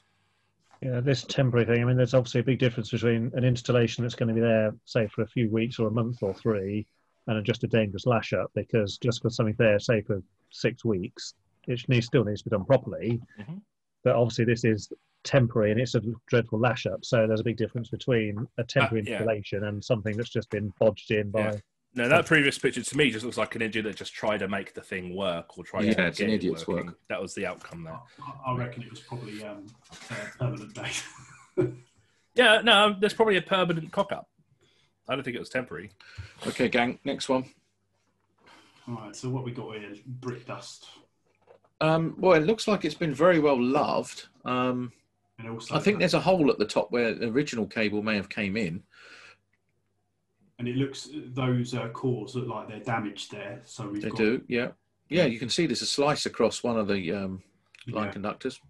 Yeah, someone presumably just slashed in with a knife. Rather oh, than... it's okay though because it looks like somebody's twisted the CPCs together of the FP200, right. but it's all right. They've covered it with a bit of three mil sleeving. Thank God! I thought there was something wrong with it. the other thing I'm oh dear is um, obviously that's a switch and we've got brick dust all over it. How does that affect its functionality? Contacts. Yeah. Yeah. Indeed. Indeed, could could that could that settle on the contacts and cause um, spurious alarms, and could it also contact uh, cause high impedance joints? Could it cause it? Yeah, there's. It's just was, rubbish. I think was this picture taken rubbish. by the installer to say, right, I now need to clean this, or was this left like this? I'm pretty sure this was discovered later sent to us by somebody who found this on an inspection. That's um, insane. Uh, hang on, that trunking looks the, the same white. as what we've just seen. It, it could be the same, yeah. you know what? Actually, no, no, because that trunking, that's probably a bit of MT3 by the looks of it. That's a, you know, it's probably a 2B2 or 3B3 next to it because you can see purple, so there's telecoms in there because um, that's normally telecoms multi-pair. So it's obviously a commercial build where somebody has just chucked all the cabling in. So you've got telecoms, fire alarms, all sorts in there. And that grey could be meter tails, it could be all sorts. Who knows? Either way, it's a lasher's paradise. Again, this is this is to me is more evidence of unskilled workers where they've pulled the cable through. You can see where they've smashed the side of the box out. Um, it's damaged the cores. It's just unskilled, unqualified, incompetent work. And the trouble is, it does hard working, honest electricians out of a decent day rate. Mm-hmm. Does um Dan, does like organizations like Bayforce similar kind of try to engineer this out or look for this kind of this kind of behavior? BAFE is a scheme. Mm. I hate that word. So they will say, "Are you inspecting to five eight three nine part one?" they won't ask you to prove evidence of that or to. Yeah, they, they do. They do. So um, obviously, they're checking that you document what you're finding and, and okay. what have you. So if I found this installation, I found the the engineer's name and address on the system. Could I then report that to BAFE or someone if they were accredited with them? Um, not that I'm aware of, no. Okay. Well, because, because the, the, thing is, BAFE is a scheme, and you uh, then you're assessed by a third party company to ensure that you're working to the scheme. Oh, we've heard that before. Okay, yeah, but you like BAFE, don't you? I like the scheme because I think right it's if you work to it, it can help your business processes very well. Okay. Yeah. 'Cause I don't know enough to make an informed I- judgment. I don't. Um, all I know is that someone, something in the industry has to protect the clients from this kind of nonsense. Yes. Um, although, in fairness, that's common sense. But Will Lloyd has made a very interesting point.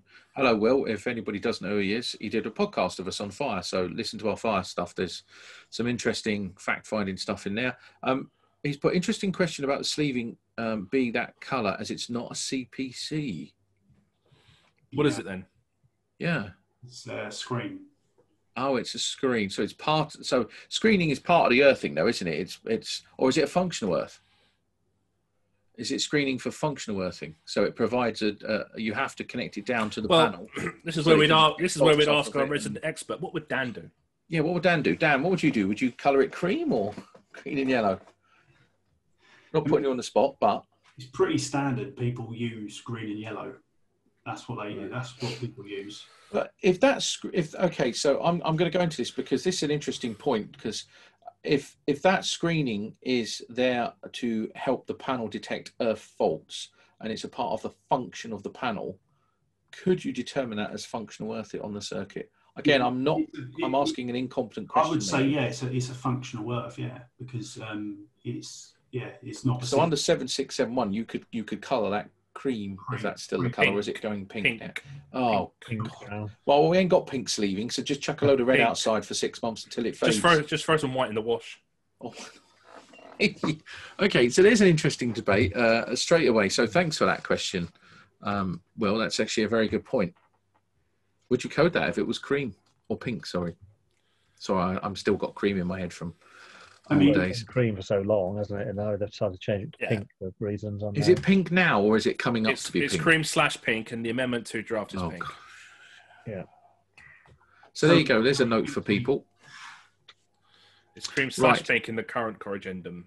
The So let's share the results. So and and I'm going to agree with this. Um, C1, um, Yeah, C2 43 percent, C1's 50 percent. So half of people said it was, and seven percent C3. Um, John, let's start with you. What's your code? What do you think? Yeah, I got C1 because you've got no idea that that's even going to work. I mean, it's full of dust and the cables are damaged and it's, yeah, I mean, it's just broken beyond. Dan, the pedantic engineer. What's your code? I'd see one because we've got multiple things here. We Uh, haven't we? We've got damaged cores. Yeah. Um, we've got. We don't know if that's working, if it's, it's functional, um, and obviously the way it's been installed, it hasn't been installed to good workmanship. Oh no, has added a link to some pink sleeving. Hasn't got any pink moving. You are joking. He is, he, he, he knows everything. He's got some three mil PVC sleeving wall. I don't pink. want. I don't want pink. I want two mil. J- I don't John want three just mil. shared- Two mil. In the comments, Jono's just shared some pink sleeving. Link Yeah. I- I would also go. YouTube. I would have to go see one on on peer peer peer opinion because uh, uh, somebody mentioned further up the chat they had this exact situation and it had affected the contact, making the switch inoperable. Oh dear. That's going on your Instagram later, isn't it, Paul?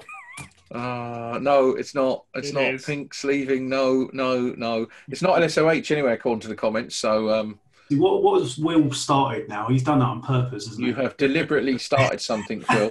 Right. So just going on again, magic number here: fifty-six ten in seven six seven one. If you just want one regulation, so don't let people say the fire and seven six seven one there isn't synergy. But in 5839, 37.28, the entire system should conform to requirements seven six seven one. That is pretty crap, to be perfectly frank. Um, just just alone in the trunking next to it, the dust, the IP rating, uh, the protection of the cores, the damage to the cores, potential sleeving of functional earthing. Um, 37.2F arrangements for earthing should be in accordance with the recommendation of the manufacturer. So, what does the fire alarm panel recommend manufacturer? Because somebody said it's it's common for green and yellow. I'm not I'm not disagreeing whether it's green and yellow or cream. I'm I'm not actually not that fast. Um, maybe you could get a cream and green and yellow, or put an extra stripe in the green and yellow, so it's a, an earthing screening functional conductor. There you go, Oh, Jono. Get God. get that made, sell it in two mil, you'll make a fortune. Um, care should be taken to ensure electrical continuity of electromagnetic screens, including metallic sheaths. And then 45.4, the switch mechanism of every manual point should be tested, including that favourite frangible word of Dave's insertion of a key switch. This is this is pants. As a system, if you came to this, I would I would be mortified the minute I took the screws off, take a photo, and put it back, and just probably want to run away. So yeah, I, I agree. I think it's, um, Uh, it's yeah, I mean, my opinion is the installer hasn't finished. When I see that, yeah, but he's been doing it for ten years by the level of dust that's on that. you It looks know, like he's been doing it for years. the job's just not finished, and the No. client needs to get him back. So do you agree with that, then, Dave? C one for you? C one, yeah. Um, I, I anticipate it could make it not work, uh, and and somebody up in the chat said they had that and it didn't work, and so I can't, I can't move away from that. So the Okay. pink thing, it's already pink now. It came in on the 8th of September, Thanks for that, John. You've really upset me. Thanks. but now it is pink. So cream It's is gone. pink. No more cream. Ah, But isn't it great. still pink as an LV control circuit as well, John? I believe it is. Yeah. So go, Just to add to the confusion. yeah, go go for it. Pink and pink. We want Yeah. pink fire alarms So, now. Yeah, That well, look it's fantastic on pink. my railway. So uh, yeah, Right, next one. There you go. What the hell is this all about? This this just looks like a complete and utter lash up, really. This looks like somewhere that's been modified again and again and again. There's some class two, good old fashioned class two lighting, bit of tray to, to the left, obviously not being used for anything fire alarm anyway. And then you've just got the cable. I think them cables have been moved and unscrewed, maybe to take that light fitting, by the looks of it. Yeah. Um, okay. They've just been the left poll. hanging like this. Yeah, why not? S- swing it. There's a section in 5839 that says "Thou shalt swing off of Thou fire alarm swing. cables." No, hang on. Sorry, that was I was a dream. Damn, sorry. Um, let's go for the coding. Everybody, jump on. Code it. What do you think? Um, straight away, the screw ends. I'm assuming that somebody could possibly reach up and grab that. Maybe worst case scenario, jump up and grab it. I'm just going to throw something into the mix. Go on, Dan. So um, you've obviously got two cables coming in, and you've got one cable coming out. They they all look like two core cables. So this to me either looks like it's been spurred off um, a radial or a loop which isn't allowed, or it's a remote indicator. So a remote indicator often is installed when you've got a detector in a void, and because you can't see the red LED to see that it's in fire or, or which detector it is, you have a remote indicator where you can see it. So um, if, if you've got an addressable system, you Hmm. don't necessarily need to have remote indicators because the panel will tell you it's up in the void. But on a non-addressable system, um, you won't know. It will just say zone one, zone two, zone three, or whatever. So, So if this was used for remote indicating, that's very important for its integrity for the operators to know that there's a Yes. fire condition in there. yeah, Right. yeah. Any more votes, please? Only got 24 of yous, so keep voting. Just go with your gut.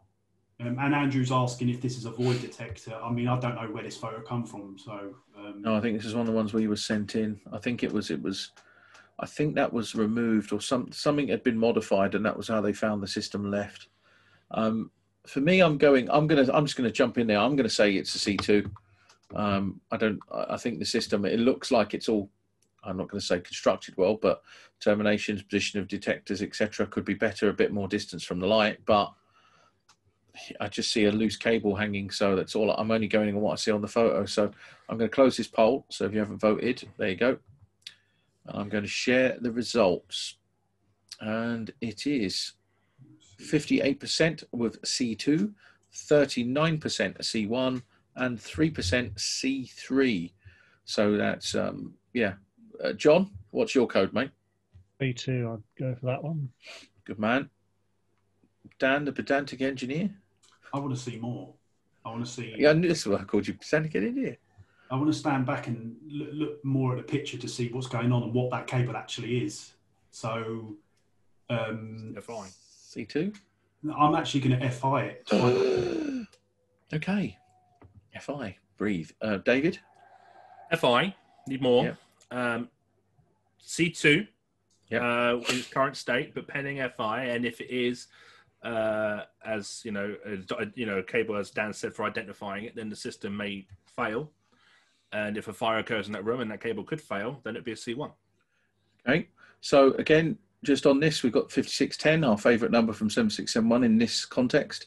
But 5839 for this one, we thought we'd give you a little bit of it rather than not being able to afford the standard. 26.2 Cable systems used for all parts of the critical signal paths and for the low voltage main supply to the system should adequately resist the effects of fire. For most fire detection and fire alarm systems, standard fire resisting should be considered to provide sufficient resistance to the effects of fire with appropriate methods of support and jointing. That's not really effective support and jointing. And again, you can quote 521 10202, premature collapse regulation if you wanted, good workmanship and materials regulation from both standards. There's lots you can put there. Now, we could have we were we were um and ahhing down, weren't we, as to whether we fill this screen with just text extracts from the standards, but we thought no, it would be just a snapshot. Mm. So um, yeah, can I, just, okay. can I just add a comment at this point? Certainly. This is a good example of us needing to know more. Even Dan needs to know more. Yes. If we rely heavily on taking a picture and going on a Facebook or reading a code breaker to exercise our opinions, we're going to get into trouble. Yeah. We can use them to help us, but we must make sure we can collect as much information to understand at the point when we are the ones on site doing the proper risk. Yes. You know, so uh, just uh, to say, I mean, I've come up with three different codes here because I need to know more. Dan's done the same. And we would easily go to a code breaker or we'd go and share it with people, but we need to collect as much info as we can for us yes. all to be able to get our engineering judgment across. And an image can be seen in many different ways if we don't have the competence to interpret what we see. Now, Dan's offered information to me that I didn't understand, and that's changed my C2 to a potential C1. So, context and understanding of risk is, is really important. Regardless of what some people will say, uh, it is very important for electricians to develop that understanding. Some electricians won't need it. Some are hmm. quite happy to just go along and do their installs day to day. But this is for the inspectors. These are the people that are helping de-risking businesses, providing competent advice to organisations, entities, uh, ultimately insurers, stuff that could ever be used in a court of law, read out by barristers, etc., peer-reviewed, etc., etc. So this is this is really quite important stuff. Right, next one, and my C1 and C2 have disappeared again. There we go, back up. Next one, we've got two. Oh, there's old school and new school, by the looks of it. Yeah. Right, I'm going to relaunch the poll on this one. Uh, relaunch the poll. So what I mean, what it looks like here, we've either got um, they're upgrading the system um, and they haven't taken out the old equipment. Mm-hmm. Um, is this the is the assumption here that this system on the left is not no longer in service? I mean, it's a great I question. So, yeah, looking at the age of it, I'd think they're different systems. So yeah. Mm. But it's a great question. I've got to be careful how many times I say assume because Mr. But having said that, Dave, I've seen before where you've had a shared entrance and you've had maybe um, a floor one side to one tenant, um, yeah. like yeah, commercial, and then the other, and they because they're not liaising with each other, which is part of the regulatory reform order, which they should do with their fire safety. They've installed two separate systems. Mm. So when you're running out here to operate, which one do you press? Yeah. That's interesting. Yeah, I look at that and I, I immediately go, new system put in for the new Part M accessible heights for uh, accessible persons, vulnerable persons, etc. It's a hybrid of new and old, but I still see plastic trunking, which I'm not a fan of. Personally, you know me, Dan, I prefer conduit systems every time, especially if it's a commercial application. Um, yeah, and the old one, I'm assuming the old one needs to be ripped out. If the two are running consecutively, I would suggest that somebody is being really cheap on their costs for as far as fire alarm budgets go. So for me, I'm going to put my neck on the line and say straight away that's an FI. Um, I could work from FI to C3 to C2 easily on any one of them without understanding more, but there is definitely a code there. Now I'm going to end this poll, so please, if you've got 10 more seconds to, co- to code it, if you haven't already coded, um, 71% of you have, so click a button, take a guess, mm. go with your gut. And I'm going to give it a little bit more, and we'll end this poll uh, now. And we will share the results. And the results are in. And the results are very simply 23% have said C1, 27% C2, uh, C3 17% and FI 33, which wins the day. So everybody's inquisitive by this picture. There's mm. our brains as an inspector going, I want to know more. I need to understand. I need to go away and ask people, is this system live? Is that working? How does this function? Uh, you know, so that you can put a better report. So I'm actually quite pleased that FI is standing out here. Yeah. Um, to be honest with you. Because Yeah, I think a lot of- cool. unknowns here that you i mean is it still in use is it just some old thing someone left there and it's all uh, definitely a lot I like. I like the fact that people are asking the questions from the pictures, um, and and they're going for FI. That's that's a good mindset. Um, okay, well, what do we think of a code? I'm going FI. What do you think, John? yeah i'll go for fi as well so. Dan? FI. Dave? Okay, so we're all agreed with FIs. I think there's some Um, good assessments there. And let's see if we can get. Oh, that's disappeared. Uh, 56010, 5839, 20.2. The method of operation of all MCPs in a system should be that of type A, as specified in BSEN 5411. All call points should be identical unless there is a specific reason for differentiation. Oh, now you've really got me. Okay. So, Dan, you mentioned the fire safety reform order requires obviously the, the the situation to occur where you can't be in a position where one system is one, one is the other. They have to they have to link. Not necessarily, Dave, but what what should happen is um, part of the RRO is that um, people who are in control of a premises need to liaise with each other and coordinate. Mhm. So, so you're coordinating with each other's fire strategies, you're sharing risk assessments, and you're coming together to create, you know, the fire safety for the building together because you've got multiple different people. So, like I said, if this was like multiple uh, commercial tenants, Yes. and and we might have two systems here. Um, really, the fire risk assessment, everything comes from fire risk assessment. The fire risk assessor should kind of put some wording into play here about this because obviously this causes confusion.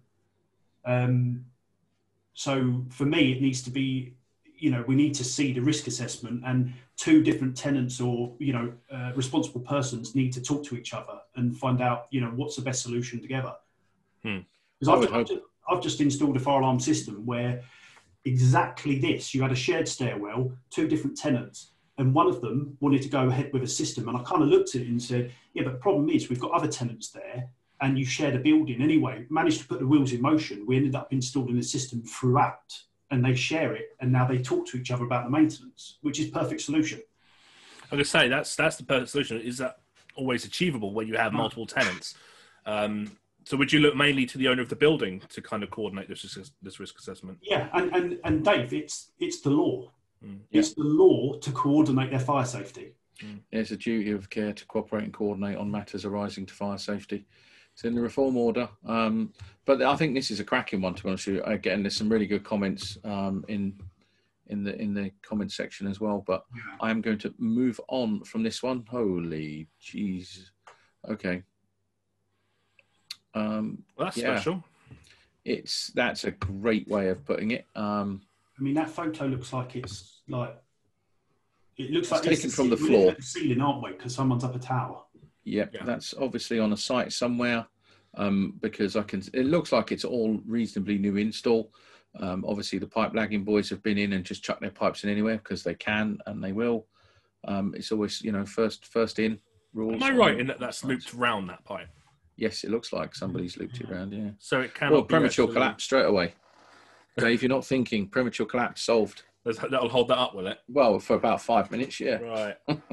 and it's uh, if it pipe burst water system. No, it's rubbish, isn't it? It's junk.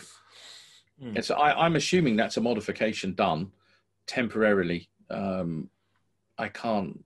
The trouble is, is uh, I'm not going to lie, and Dan and the lads, you go onto any commercial industrial site, you will see bodges, modifications, temporary appropriations of the fire alarm system in this manner Mhm. um, plastic connector blocks inside a, a, junk, a joint box as a temporary thing where people may terminate the cables until there's a wall or somewhere where they can dress the cables down. Because if you look at it, is that if that's is that two cables there? So that may be where there's a wall supposed to go. Hmm. And all they've done is they've then coiled it up in some manner, put it in a through box, connected it with the intent of a lid, so that they can then start belling out the wires, so I they can get off site.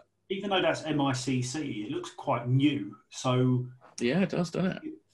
I mean, the installer, whoever connected that up, they wouldn't have done it around the pipe, would that? I mean, I mean, surely, surely they wouldn't have done that. So it almost looks like the pipe was there afterwards. The pipe fitter's apprentice. It's got to be. It's got to be the pipe, pipe fitter's apprentice. Maybe it um, was, yeah, but then you push out of the way, wouldn't you? You even if it was a pipe fitter, they would push that out of the way. Apprentice might not. It's an odd one. Yeah, there's a lot of unanswered questions here, isn't there? I mean, also you've got like in the back there, there's a plastic cable tie trying to hold it together, and they haven't even cut the tail off the end of it. I mean, it's like it's all just sort of just thrown in, isn't it, and lashed together. And is so are we are we thinking that this is a temporary termination for testing and when and we haven't come yeah. back to it? Yeah there's it looks like it was taken from the floor where there's a an access tower there. You can see the top of it protruding yeah you can see the unistruts on the ceiling there. you can see the unistruts you see the pipe work in you can see yeah. what looks like a sprinkler hose and a fire main and, and this cabling could be for a number of things. I mean that cabling it might not be for a manual call point. It could be a, a, a valve yet to be so, installed on the water systems. It, it, yeah, I mean, interesting point here. Okay, it looks like work in progress as a tower as well. Maybe the pro, maybe the actual image was taken because the sprinkler guys put that in. So maybe that termination's there temporarily. Mm-hmm. That system is, you know, the guys taking the picture could be. I don't know who took this picture, by the way, but the yeah, guys no doing one. taking the picture are doing the fire, and in some Pratt sprinkler firm have come and done that uh, and that might be the actual reason this picture's been taken. What what worries me, Dave, is the, the, the connector block configuration tells me that the only reason someone would have done that is not just to terminate it safely, is because they're testing, testing it, because that might be part of a commissioned yeah. system. Yeah, so to me, this looks like this is the install, and maybe that is supposed to hang down on a suspended ceiling, maybe. Yep. Um, yes. And that's why it's hanging there, and obviously um, there's no, it's not fixed to the ceiling or anything. So this looks like it's at installation stage, um, not commissioning. So the person who comes along to fix the detector is going to turn around and say, "Well, Jesus Christ, what am I supposed yeah. to do with this?" So this uh, is this is this is this isn't codable though, really, because this isn't an this isn't a end event, is it? Yeah, but how, or are we going to assume that we are seeing this now? I'm coding it. I think the main point here is that pipe and the cables around it. So how that's that's kind of the, the problem here, isn't it? Really, it's how did that pipe get through the loop of the wire? So, I, th- I think I think it would be sensible to accept that this is a, a construction site but I, I would I would based on my engineering judgment if I was coding that if it was a work in progress and that system was decommissioned de-energized I would say oh you silly idiot you've got the pipe through it. You'll have to disconnect that pyro from the box and redress it down and, and tuck it out of the way prevent it getting damaged. But if that system is being commissioned or in part commissioned then I would see to that. But for me it's an FI slash C2 on, on my coding and I've just shared the poll results um, and I've got it completely wrong because um, 62% of everybody has said it's a C1, 24% uh, has said it's C2, um, and 14% said FI. Um, if it was a, a, live system and that was just a joint, 100% I'd be putting a C1 because it's, um, you know, there's no lid on it. It's not proved the way it's hanging down mm. is an issue. But if it was a non-commissioned system, like you said, Paul, I'd be, I'd be saying you know, let's disconnect it and put it up how it's supposed to be. Um, Indeed. The bigger question for me, I mean, obviously this is a, a cock up, but the bigger, the bigger question for me is why that wiring system wasn't protected during the erection from the other services. Because yeah. clearly other people have been putting in their services and they've been within a good proximity to that system in the comments, uh, Anthony's made a good point. Um, who knows how this happened, but a lot of sites will get work done, and in some instances, the fire engineer has not been called into the job. Um, so, and that tends to happen. The fire alarm engineer only gets called in once the ceilings go up and everything else, and then you're you're up against this. So, you know that is quite common. Yeah, um, John, code. Yeah, I mean it. It's C1 if it is part of a system, but I don't. From what's in the picture, it doesn't look as if it's an actual thing that's currently in use, does it? It's sort of still under construction or something. So it, it all depends on what the actual circumstances are. So C1, I suppose, is okay, but obviously if it's not in use, then not really has a code, does it? So Dan? yeah. Yeah, C1 if it's live and it's in use, but um, yeah. David? Yeah, if it's in use. Um, otherwise, the question is how that service was put in with that proximity. Otherwise, it's an OP, other PILICs. Other PILICs. Oh, that's another new code. We'll do another webinar on that next year. So, for everyone watching, 56010 5839 um, 26.2 with appropriate method supporting and jointing should generally be used. Please, if anyone's watching from 5839 committee, remove that generally. Um, that's just a terrible word to we use. We have someone watching, don't we? Uh, we do. Yeah, Will. Um, 26.2G, cable should be installed without external joints wherever practicable.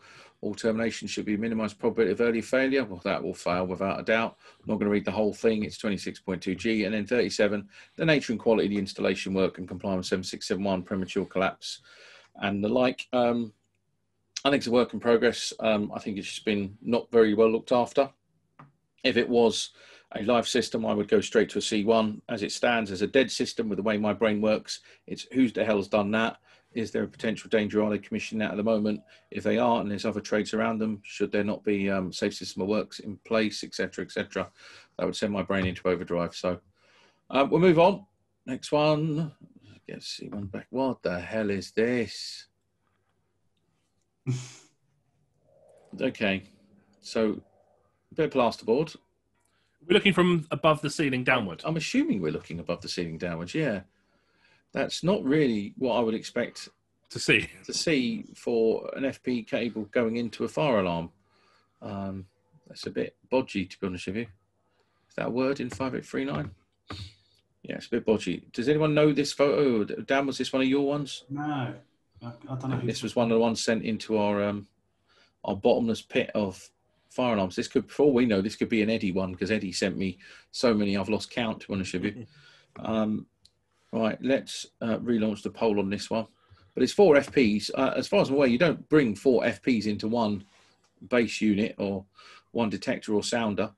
Um, it's not exactly how a loop really works, but maybe I'm wrong. Maybe this is a new spider junction configuration that we're all missing. When is that sort of from above, looking at the back of the detector or the sounder, and the other two are sort of going off somewhere else, perhaps? Yeah, it does, doesn't it? It does. It looks like they're just disappearing. Maybe, maybe there is a like a a surface pattress there to allow some cables to loop through it on into a bit of YT maybe. As I don't know. said, um, they have plastered the um, over the ceiling and used the base as a JB.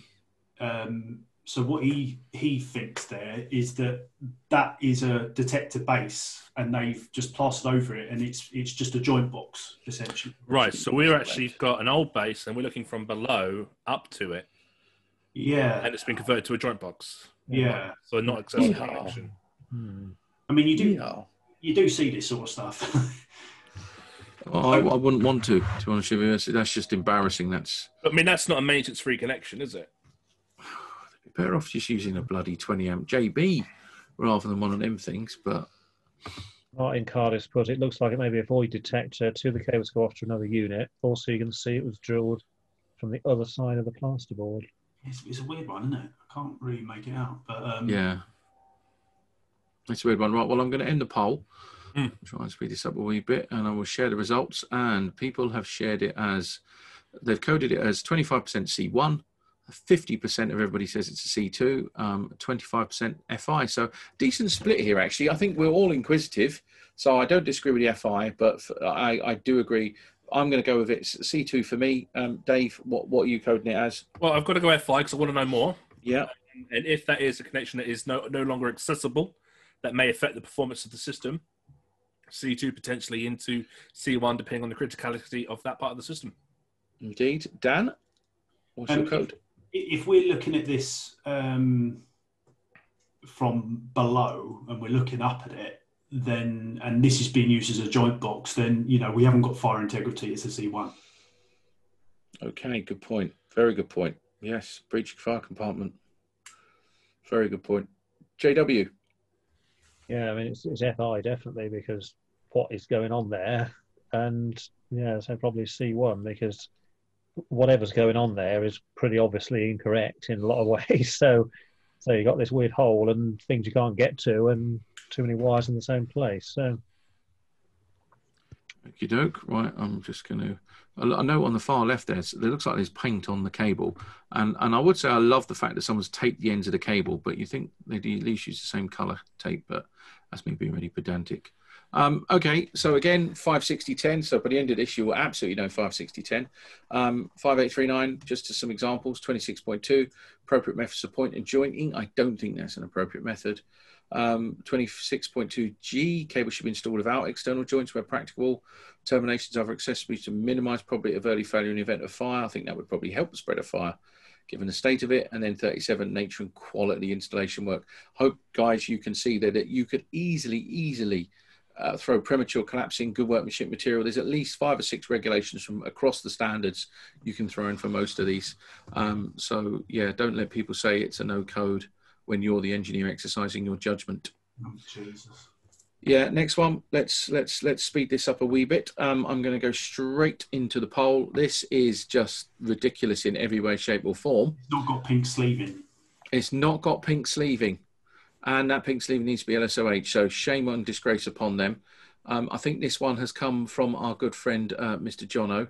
Um, okay, it's insulating tape around the twisted uh, CPCs or Also, um, I'd like to old point out here the way the cables look like, um, the, the way they're plastered into the wall there, Yeah. Mhm. um, mechanical protection.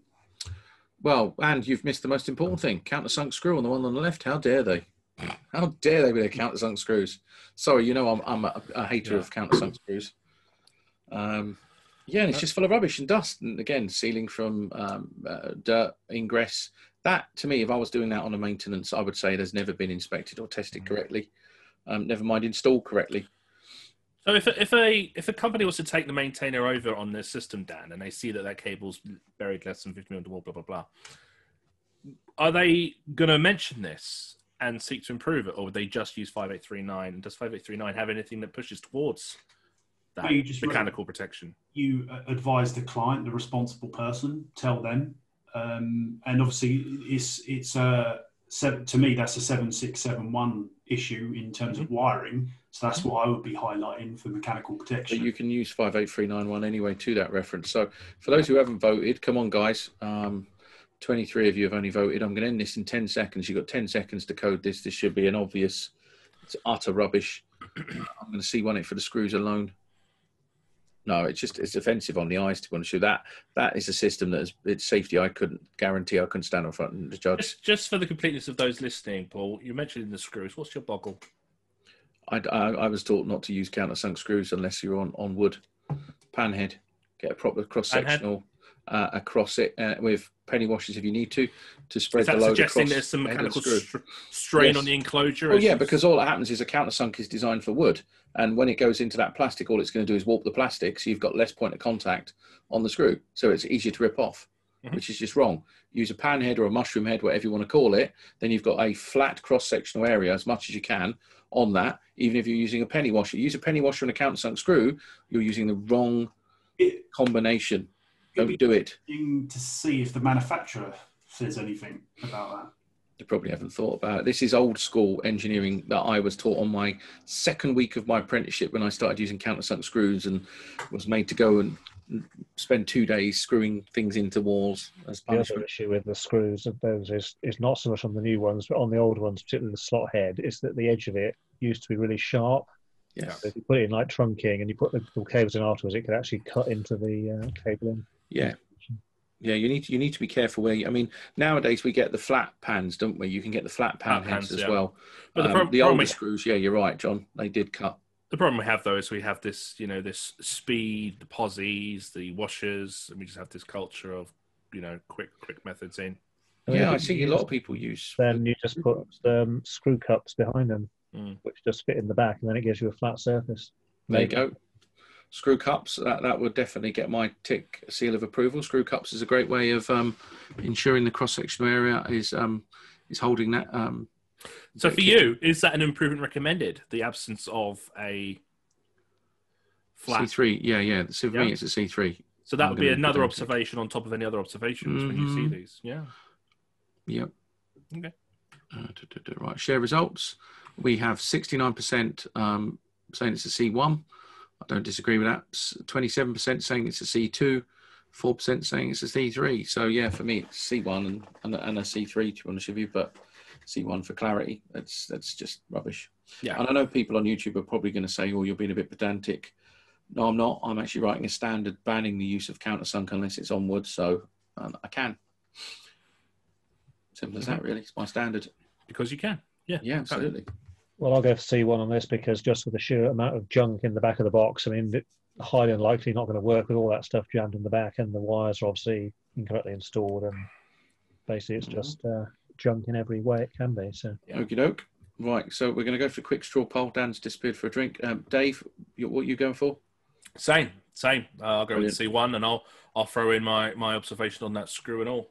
Okay, right. So I'm going to now close that poll, and I'm just going to look to. Oh, 7671 560 10 again is your go-to reference. That's your minimum starter regulation. Um, if you look at 5839 37.2, the entire system should conform to 7671. Good workmanship materials, premature collapse, um, you know, uh, impact, presence of dirt, foreign bodies, 522.4. Um, arrangements for earthing should be in accordance with the recommendation of manufacturer. Care should be taken continuity to screens or pink sleeving if you want. Um, I'm, I'm, yeah, that's going to be interesting to see. Um, the key switch mechanism should be tested if by removal of the frangible element, insertion of a test key. Now, if I just pushed the test key in there, that would just be full of dust and dirt and probably mm. wouldn't operate. So, yeah, I'd, I'd, say it's a C1. System's not working. Yeah. Hmm. Blimey. Okay. That's just two cables sticking out of a roof. Yeah, um, I would, um, I would assume something's about to be put in between those cables. Yeah, I, I, don't actually know how this has turned up into this presentation. In fairness, I'm, if it's okay with you, I'm going to skip this one, unless Dan, you've got an interesting story to tell. I don't know where this photo came from. All right, we'll skip this one. We will skip it, but it's nature and quality. I think it's simple. If this is left, if you go and find this on an installation, it, yes, it would fail because the system is broken.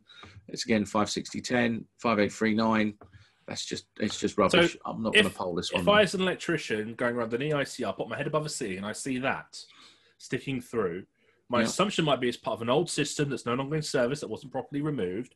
Mm-hmm. But I may not be the person right there who will then be able to go and verify the fire system is there. It's not on my yeah. maintainer. So should I push that observation? I would code it as a C3 against 56010. Same proven recommended. Cable should be ripped out. Cable should be okay. removed. Exposed conductive parts that cable on the left is severely damaged where it comes to the.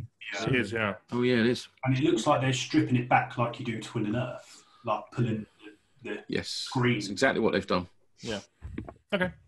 Right, um, Dan. This is. I think this is. Is this a video? No, it's not. No, this one isn't. No. So oh, I mean, this okay. is a detector in the corner of a room.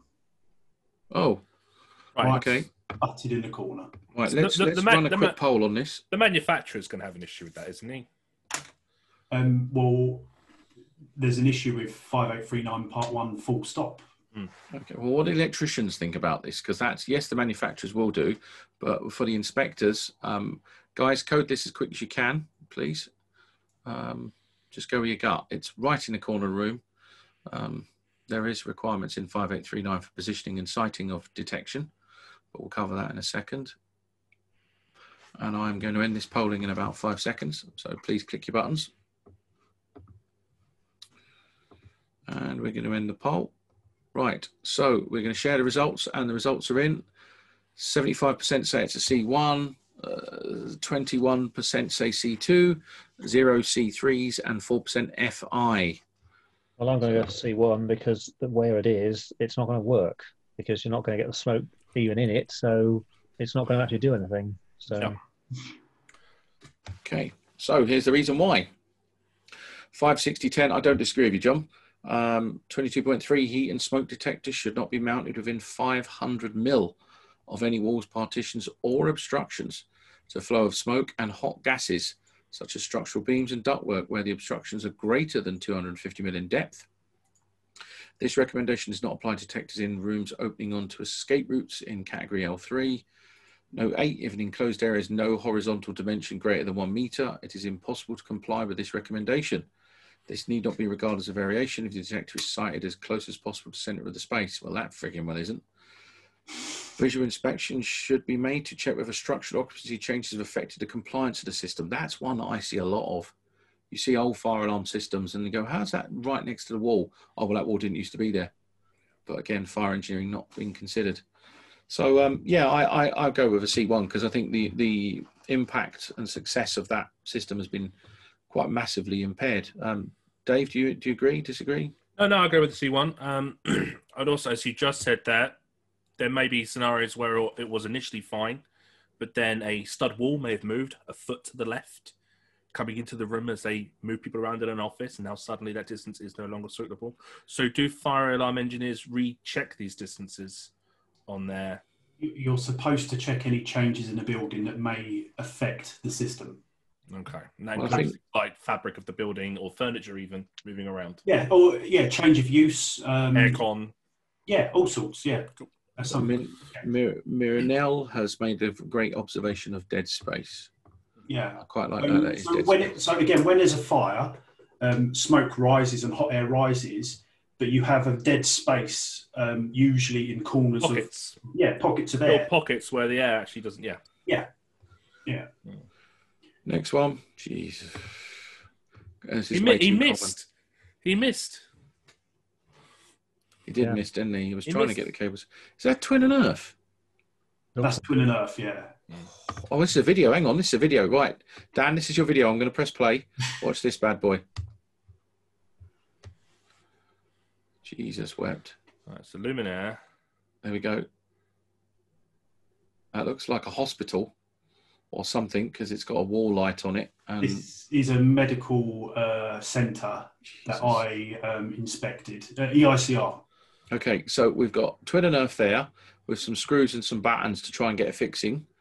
And then what you've got then above the ceiling, I'm just going to narrate this, a hole in what looks like the fire partition or plasterboard ceiling. There's an old luminaire which has been left in, which is just such lazy, lazy crap. No, because no, that eventually, is, that is the light pole for the room. There's yeah, um, the diffusers below. The diffusers below. Oh, you're joke. oh my god, that's even lazier. So they've got like plastic perspex. That's not. A, how's that even designed to any medical standard? My god. Right, let me run the poll because this is this is a fascinating one. All right, guys and girls, run. Uh, tell us what you think because so, this, so this entire system is in Twin and Earth. It was wrong from day one. Then it was never never put in properly. Don't the NHS have some sort of standards? Uh, we HTM miles underneath oh. all those little holes, all the diseases get in there and can't be cleaned out. so, John, cheer us up. oh dear, no, you're right. You're absolutely right. Um, um, do you know what? For the sheer lashery of it, that is a C1 to me. Yeah. I would go to town on that. That EICR, they'd have to drag me out of that building, especially given the fact that it's a, a place for vulnerable persons or medical um, persons. There's no excuse. It, it, to me, working in a hospital, my one of my first ever voluntary roles was actually a summer in a hospital, and I saw it as a position of privilege to be able to serve the healthcare of the communities and the people that are in there who needed help and doing your bit is really important. So you should have pride in the work. I'm going to end the poll, um, and lo and behold, I'm going to say it's a C1 because everybody else yeah said it's a C1. C1. Um, 93%. See, um, C2, 4% C3. Will Lloyd has said um, in 1988 the standards allowed for Twin and Earth on detection. Um, so, I mean, those detectors are clearly not from 1988. So that system has been modified since. So again, I if I had if I saw a system that was from 1988, I personally would be commenting on its suitability today, not from 1988, because there may have been change of use in the building. The risk is different. It, um, but there's a, an age-old thing that you can't be retrospective with um, how you sort of code things. But I, I personally disagree. Yeah. I mean, I disagree as well. I mean, fire, fire, um, premature collapse. You know, we learn new things exactly from yeah. the dangers we created that we didn't know before. Um, so yeah, uh, 1988 yeah. though is long enough, I think.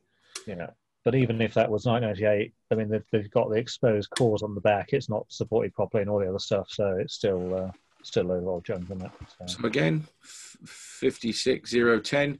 583926.2 cables used for all parts of the critical signal paths for the ELV for external power supply unit and the final circuit to the main system should conform to 26.2 and 26.2e and compromise one of the following mineral insulated copper sheaths um, cables that conform to requirements of BS 7629.1 satisfy the de- definition of standard or enhanced fire resistance. That is twin and earth. That is neither. Cables conform to 7846, definition of enhanced mm. fire resistance, that is neither. And then uh, D, standard fire resistant cables show a duration survival of 30 minutes. That's just pants. And for healthcare, it's ridiculous. So I'm, I'm with the C1. Are you all with C1? Yeah, yeah, yeah. Yeah. okay, well, let's let's move on. Oof, okay. So that looks like twin and a um, PVC uh, trunking that it's hanging out of. Is that right? It looks. It does. Look, it just looks like a some FP that's hanging. Hanging. Yeah. I'm okay. I'm I'm not going to run a poll on this one because I'm mindful of time and getting through everything. But what do we just think on this one C1. alone? Yeah, it's it's, it's definitely C one because that looks like I could just gra- reach up and grab the damn thing, um, which is never a good thing. Yeah, I mean that whole structure looks to be like some kind of PVC type ceiling thing, which is in itself a bit of a fail just to have that as a structure. Yeah. Yeah, I mean, Yeah, yeah, it's all it's just, just going to fall down in seconds, isn't it? So Although that looks like a school, doesn't it? Like um, yeah, books, library, school library, primary school maybe or something. But again, it's this all Yeah. again. You can see, yeah. I mean, I've seen this many times where there's like corridors in schools, and you see these systems going in, being thrown in in, in sticky trunking, plastic trunking. Um, C one for me. Yeah, I'm I'm going to go C one. I mean, Um, plastic trunking is not an appropriate method of supporting any cable on a ceiling because it's obviously it just melts and falls down. In fact, you're right because I think below that, where them beams are, there is some plastic trunking, so it looks like it's fallen out. But again, 5610, 26.2 cable systems used for part of the critical signal paths uh, provide adequate method of supporting and jointing. That's not adequate, so I'm going to agree with the the C1 on it. Um, okay, we'll move on. Oh, yeah. So this this was this was this is part of my horror collection. Okay, so um, this is one that uh, just uh, mind boggles me, to be perfectly frank, because it's just a lash as heaven, really. Um, Is that, is that just a loop? Yes. Um, what that is is, I believe, if I remember rightly, it was a detector and a uh, an indicator for a void detection that was also above it. But what you've just got is loads of cables looped and looped and coiled. And my view was, well, two screws sticking out pointy. Those uh, single sheave cables should be enclosed. Um, that's just rubbish because they're getting damaged as they're going through yeah. um, the actual system. So I'm going to run a quick poll on this one. Everyone see what they think. But for me, that just makes the system pointless. It's, it's a rubbish install. It's rubbish workmanship. Um, and I could tell you some horror stories about the attitude of the contractor that installed it. Um, but I'm not going to on this. But it was a fair cop gov was the um, admission of the director of the company. that frustrates me though. Simple simple behaviors like that. Fair cop. You know, it's like Well, it was totally. It was yeah. This is crap, and I can't deny it. And this is one of the guy's best blokes doing the install, Hmm. completely unsupervised, and he just didn't expect on the client to to walk round, stick his head above the ceiling, and go, "What's that? That's rubbish. Not having that." So yeah, no, these these things can happen everywhere and anywhere. Um, totally unacceptable, to be perfectly frank. For me, I, I don't even like seeing red. I, I would prefer to see a steel braided Kopex coming from a piece of conduit supported along a piece of stud work that is deliberately fixed to support that. Uh, yeah, no, I, I yeah, you'd have something like that that would actually then allow a some small level of movement. 150 mil loop or 300 mil loop to allow movement of the tile. That's it. That's all they're getting. Yeah. Um, that is not what I expect of a fire alarm system at all. So um, just for the polls, I, I actually put this as a C1 um, because I can, and I will show you the results. And That's a great thing you just said though, because I can. yeah, I People, can. people who want to code want someone else to say why they did it. No, no, because I can. It's, You know? it's it's my my rules basically. Yeah. Absolutely. It's my engineering judgment, my interpretation of risk, and it's me standing in a dock trying to defend that rubbish, and I can't, and I will not allow any of my supply chain and contractors to fob me off with junk like that. So there you go. Sorry if that doesn't tickle everyone's fancy, but hey. Um, right, C1, 56%. I totally agree. C2, 41%. Don't also disagree, and it's still a fair judgment. C3, people recommend improvement. Yeah, because the system may be fine. Um, I just knew a little bit more um, about the system. Um, but yeah, that's I, I can't necessarily disagree with the C3, an inquisitive mind. Um, but that does need a bit of work to improve it because if that's if that's a new system that's being commissioned in 2020, by the way, it wasn't commissioned this year; it's a few years ago now. But if it was a new system being commissioned, it's to me still unacceptable to leave a brand new system with all these fluffy certificates like that. So Yeah. I'm going to stop sharing results, and we will then go straight into the standard 5610, which you all know. And again, you're seeing some common clauses here 26.2 supporting jointing. Cable should be installed without external joints, 26.2G, and nature and quality of the work. It's just not good workmanship, nor materials, nor good practices, nor quality. Um, it's just pants. I've got a big hole in the back of my detector. Um, it's just not good enough. Um, this is a classic. I'm not going to code this one. This is about 20 years old, this one. This is the power supply for a fire alarm system. Um, you can tell where it's from because it's London Underground. There's the old Crabtree C50s there. Um, everything Traffolyte labelled up. Um, and Pyro, but as you can see, quite a lot of external influences. Yeah. So what, what would we four guys code that? Hmm? Well, you've, you've immediately got risk there that the system's not going to work properly but it does. The system actually worked. It's just on its way to failure. So for me, I would look in 7671 terms. Is I'm it working properly if it's on its way to failure? Yeah, until it, until the point of failure, it hasn't failed, has it? You well, just no, you know it's when you're, on its way. When you're testing it, you've got to assume it's suitable for continued use. Good point. Yeah, yeah. So I would I would look at that. Good point. That's going to fail. Yes, yeah, and I would as well. This is why I would see to it because I, I see this potential danger, and at that point of failure, it then becomes an immediate danger. Yeah, immediate C1. Um, you've got some rust and corrosion and all sorts. Yeah, it's crap. crap. External influences again. It's that presence of polluting substances, that ex, you know, water, high humidity, five two two point three. Um, this is again a seven six seven one, but again it's still in five eight three nine. Quality and nature of the work. Is it being maintained and inspected, Dan? No. That's not being maintained, inspected, because if it was being maintained, somebody surely would clean that or, or, or treat it or do something or report it. It shouldn't be picked up by a random person after 25, 30 years of use, not in that state. So yeah, I, I for me, I, I see to that. John, your view on it? Yeah, I mean C two. I mean it's not it's not dangerous. Like there's not live bits hanging out, so I mean it's not good. But so C two would be. yeah, it's not good, but yeah. Dan. Um, I want to know more. I know you do, but come on, code. Um, I'm going to say a C2 from a 7671 perspective. God bless you. Dave? Yeah, C2, but maybe C1 if the fire alarm does not work mm. as it should. I need you go. I need it did work, by the way. How work. much longer did it work? Um, it was ripped out about two months later. All right. So it was it was actually part of an audit I did. I won't tell you where, but um, every isolated switch or protective device in 5839 should be capable of disconnecting the main supply. Um, I just think, yes, it is. Well, kind of, maybe, because those lock off or lock on points are now corroded up and full of junk. So potentially not under 5839 as well. So, yeah, it's a system that hasn't had any TLC at all. Um, right, next one. Um, Jesus this is just a bit of a mess, really, isn't it? Really, I can see lots of fire breaches here. Compart is that compartment in the background? Cables in a bit. Of, I love the fact that somebody's done something in conduit here, run some mechanical protection on the cables, and then just let it lay lashed for all these other cables to tangle and yeah. There's this clear. There's this clear this point where a fire alarm system is well erected, well considered, then suddenly it's like, good luck, and it just throws itself out onto the rest of the system. Yeah, so let's ask everybody. Second fix, guys. Uh, you can just lash it up. Yeah. C1, C2, C3. Uh, for me, it's a. Sadly, it's a C2. Um, well, I think yeah, my brain's probably an FI to start with. The, the, I could go FI C3, C2 on this if I wanted to. Um, I'm kind of torn between C3 and C2 but because it's a life safety system, I, am going to say C2. I'm questioning. I'm questioning the pigtail as well right now. Um, oh, don't even start me on the pigtails.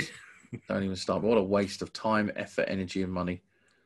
It's not a special occasion. Don't know why we need it. It's an industrial hang up. It's one of those things that ago. once you were shown how to do it, you always wanted to do one. You wanted to do pigtails. Of course you did. For the you sake your biggest screwdriver, wrap it around like a bloody coil, and then just bolt it everywhere.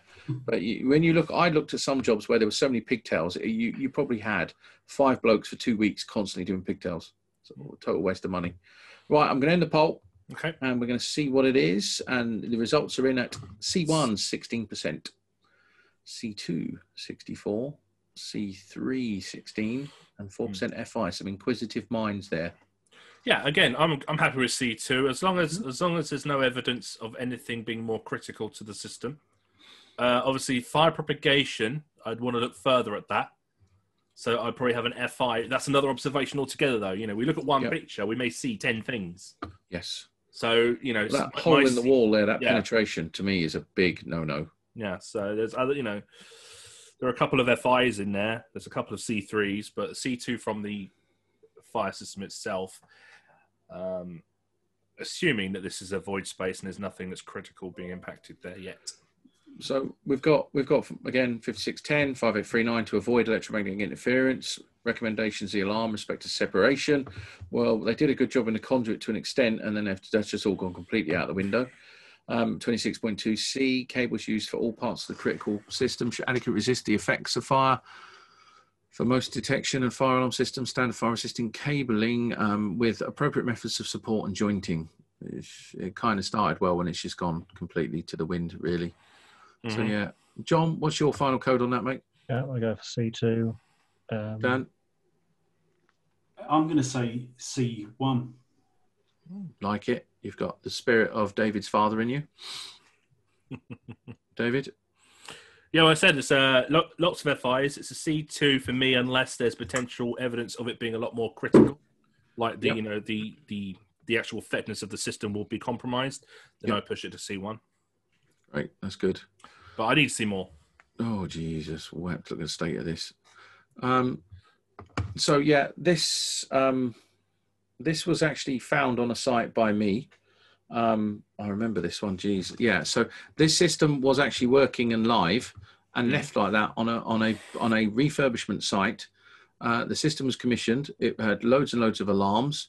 Um, I went out to have a look, not as the immediate response guy, but with a this is what's happened, and this is what we found. Just cables like that. That was what we found. Um, we're wondering why they, they just literally packed up and buggered off and just left everything, not realizing that there was that system was connected to another part of the building, and the building was live. that was live. Yeah. Oh wow. Yeah.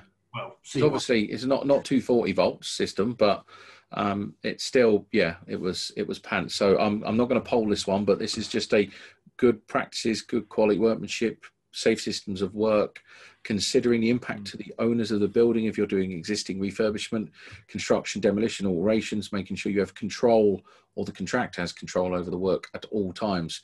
This is if you had the office of rail regulator hse there'd be an improvement notice all over this straight away. Little things like this are evident as to why competent inspectors will always have extra brake glasses, extra blank plates, extra MCB blanks, whatever you can hoard and you'll keep in your possession on your vehicle. Yep. Um, so you can act act with these things. So this compromised the performance of the system. So I, I see one. John, what was what's your view quickly on this? Yeah, C one is the obviously it's not going to work, is it, in that kind of state? So. Dan. Yeah, C one. Dave yeah, well, I'm not going to leave it like that, and I don't need to know any more things can happen to make it knack- knackered. So yeah, C1. Again, 37 in 5839, nature and quality of the installation, maintain the integrity. Don't think that's been maintained very well. Um, and during the extent of the disablement and the system, maintenance and modifications. It's just, yeah, it's, it's pretty poor. Um, oh, God. Yeah, um, this is um, this is actually another photo from the same site. I mean, we, we can poll this one if we want, but I think it speaks volumes just in the picture. How many codes can you find in one picture? Is is mm. where do you start? At, the bottom there, you've got a couple of. Um, they look like they're probably isolators that with their heads removed. And removed. Wago. Yeah, Vargos on them. Vargos, Wagos. Um, mm-hmm. It's just a mishmash, isn't it? This is the trouble during these sorts of projects. Is that conduit to the left has that fallen as some partition or wood's been taken? That has been removed for a partition. Right, so that's just dropped for now. Yep. Okay. Yeah, general builder, labourers. This is what this is the the hazard for construction. This is why construction is notoriously bad. Is when you allow unskilled um, mm. labourers, and I don't mean that in detriment. I mean just electrically unskilled labourers um, uh, near building services that are still running, yeah, they would tend to get crowbars and pop stuff off the walls and do their bit and hopefully put it back. This is a huge. This is a huge thing you just said. You know, uh, it's an operation. It's still running. You still got the public. You still got employees in this building, and any of these actions could seriously damage one of these conductors. Yep. You know, damaging their integrity, even creating a risk of electric shock, even. Um, Uh, at the Dem- time, demolitions, demolitions work should not be treated as live work. Many times it's not. Yes, I don't disagree with you. Um, you should have a your safe system work should have these systems isolated, removed, or a temporary one put in place so that that can be safely stripped out as part of a soft strip. But yeah. not always the case. Um, I'm going to end this poll now, so please vote quickly.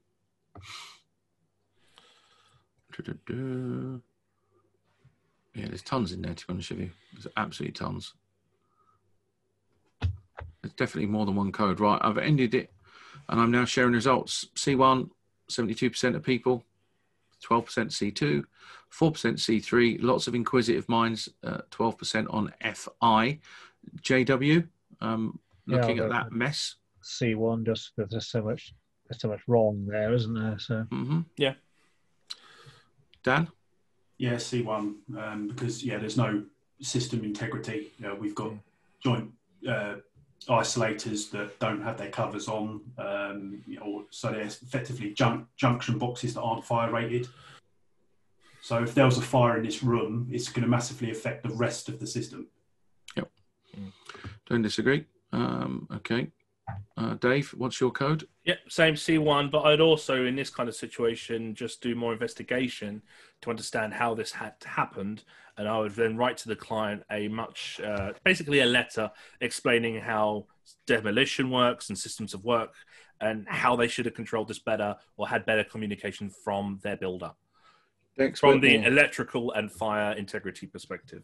Dex Wickmore has renamed FI to fuck it, which um, I quite like. Um, yeah, no, this was a, a, replacement of a new system, um, just done really, really badly without any configuration control, staging, planning, mm. thoughts. Um, it was just every man for himself, really. It was a, a horrific site to walk into. Um, thing, but there you go. Yeah, and the thing is, if those were um, LV cables and they're treating them like that as well, that I mean, there's electric shock risk.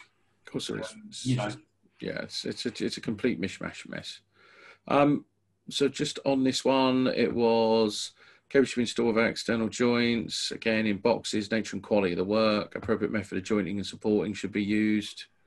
Um, we're nearly there, folks. By the way, um, last few, um, which is this. I th- was this sent to us by. I can't remember who sent this. This might be an Eddie one.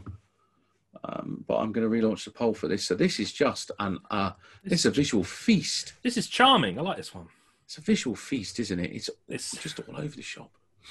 Fire yeah. alarm relays contains 240 volts. God bless you and your old school use of the um, 240 volt terms.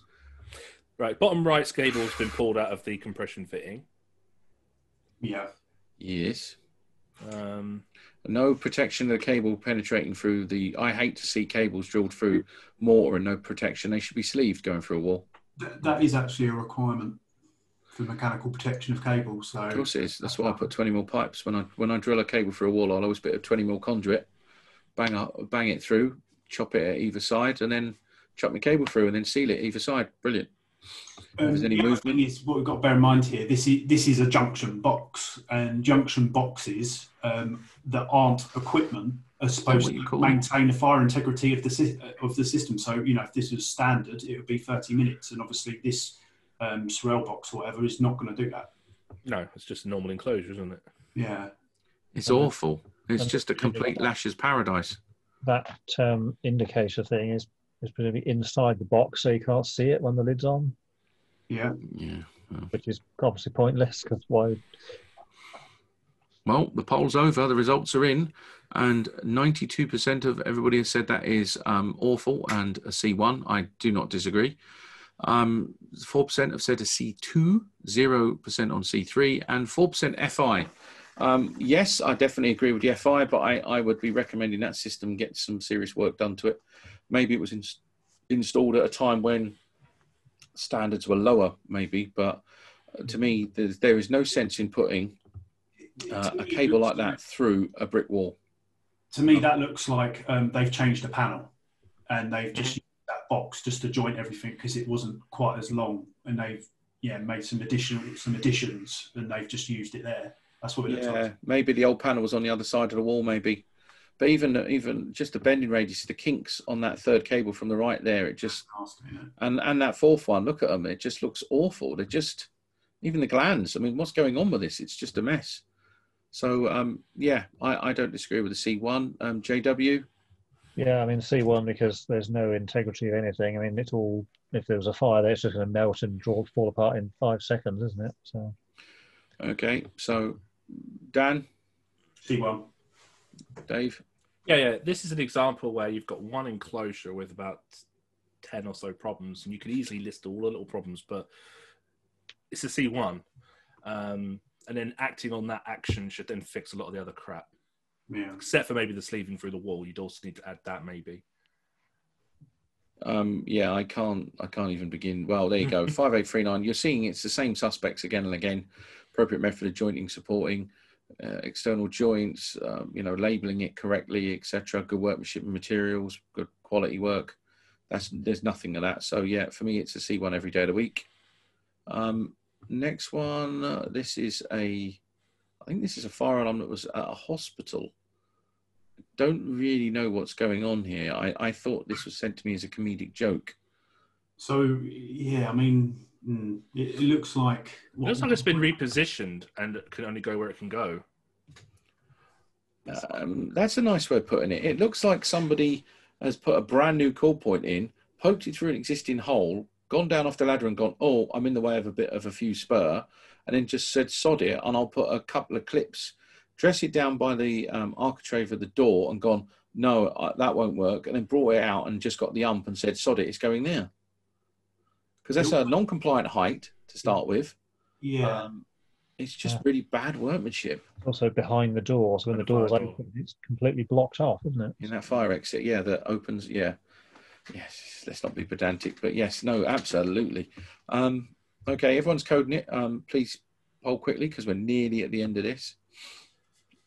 Builder moved it. Good question, Eddie. Actually, part M. Yes. Um, uh, the the best one is when you when you're in a meeting, you talk about part M. If you really want to confuse the meeting room, just say, um, "Please endeavour to comply with the intent of BS 8300 parts one and two. And everyone says, "What does that mean?" You say, "Well, it's part M in more detail." And then they really get confused, and you realise you're the only one in the room who's read the standard. It's a very good standard, by the way, both parts, very up to date. Lots of um, accessibility, inclusivity stuff in it. So Okay, I'm going to end the poll and I'm going to share the results. And lo and behold, C1, 54%, uh, 21% C2, 21% C3, 4% FI. Um, as much as it pains me, I'm going to go FIC2.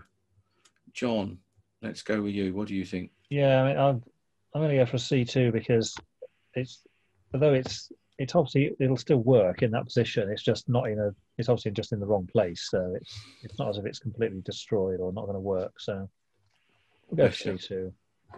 I would want to be on site and actually look at the building. I don't know if this is a room, if it's a through room, whatever's going could be, on. Could be a school. Yeah, and the likelihood of that door blocking it, and that probably would push me to a C one. I I would look want... at the use of it as a fire escape. I would want the managing director for the contractor stood at that door, explaining to me how and why he allowed his company to sign something off that was that bad. It does. It looks like a, it looks like a call point that had to be moved, and it got it went where it went. Yes, but this is again, and and Dan has mentioned this previously in our podcasts, the importance of taking pictures you know, not just certifying to 5839, but having a record before and after you've done the install. Because if I, let's say, let's put me in the frame here. I'm, I'm an end user. I go and say, right, you, Mr. Fire Alarm Contractor, let's say Dan has installed a fire alarm for me. And I drag Dan up and go, why did you do that? And Dan goes, well, here's my installation commissioning sheet and all the supporting photos. I left it perfectly compliant. Ah, what happened? And then I go and ask one of my colleagues and they go, oh yeah, I think somebody put fitted, moved it when they fitted the door. Ah, okay, so I now need to pay my foreign contractor to reinstate it back to where it was. It could have been someone incompetent making an incompetent decision, incompetent communication. So it may not be. So uh, there's there's some real merit in actually documenting before and after. We, we keep saying in everything we do, document, document. It's really key.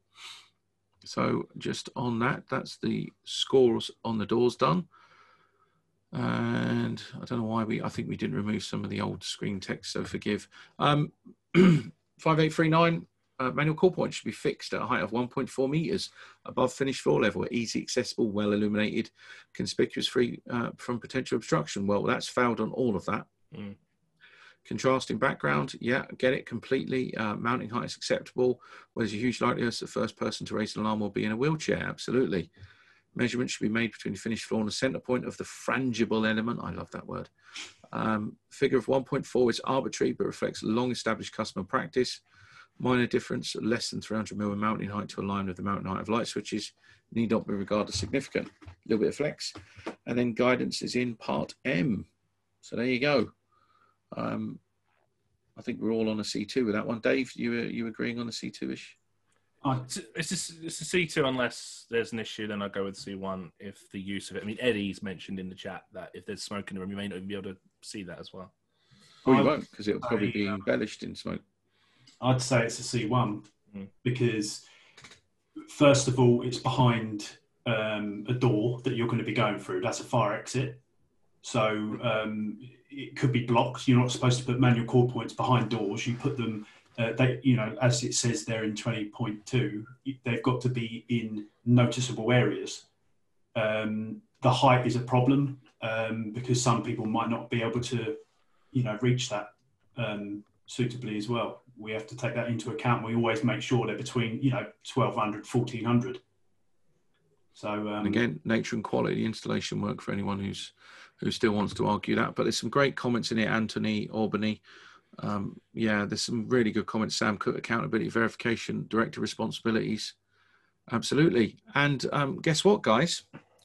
We're now at the end. We're finished. Right.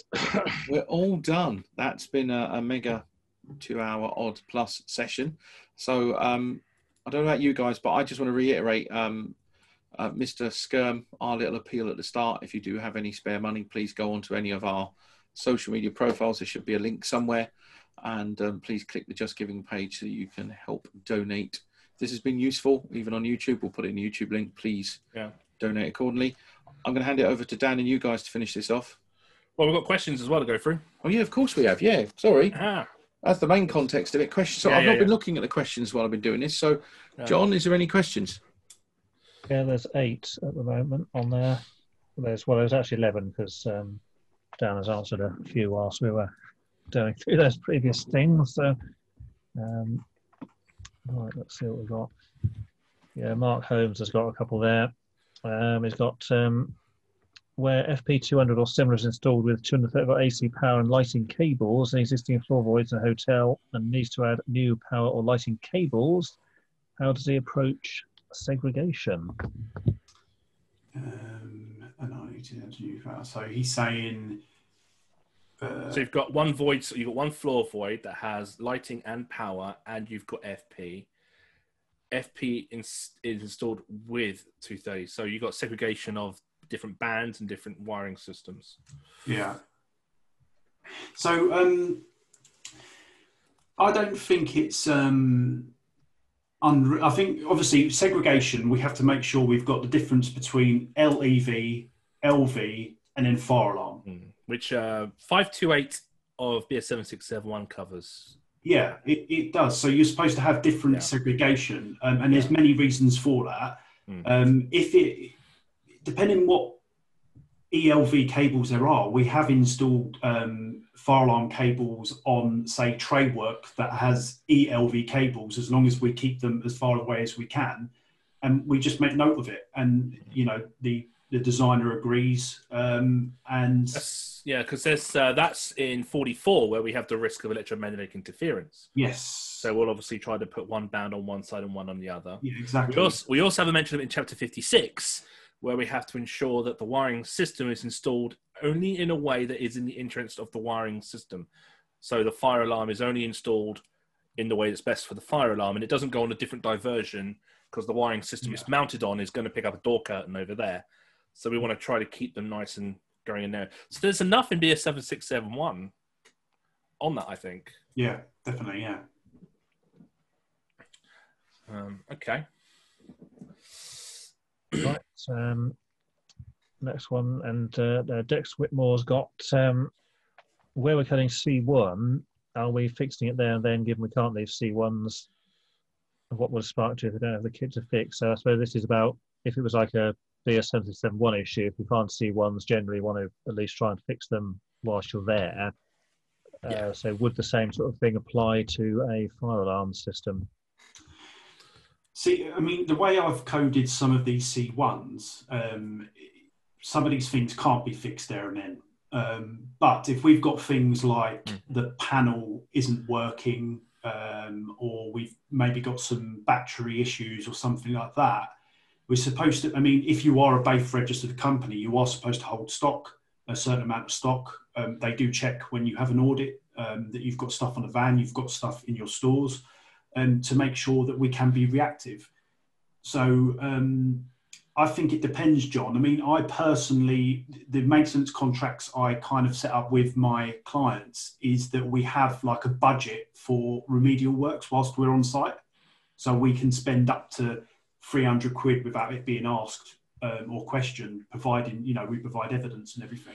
Mm-hmm. I think it's an important thing to kind of have that, you know, um, that conversation with the client and a responsible person to see, you know, because that's, that's important because you don't want to have an instance where you walk away, you end up doing the report maybe two days later, and they're none the wiser.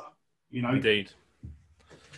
So can I can I just add as well? There is a standard BSEN 50174-1, um, which deals with distances and installation practices and quality assurance that gives recommended distances of um, uh, uh, data cables, telecoms cables, etc., etc., which is where the 50 mil gap came from. A lot of people who do commercial industrial, they're always told if you do a three compartment trunk in the middle, will be a 50 mil gap, and you're not allowed to put any cables for EMC coupling, etc. purposes, depending on length of runs and stuff.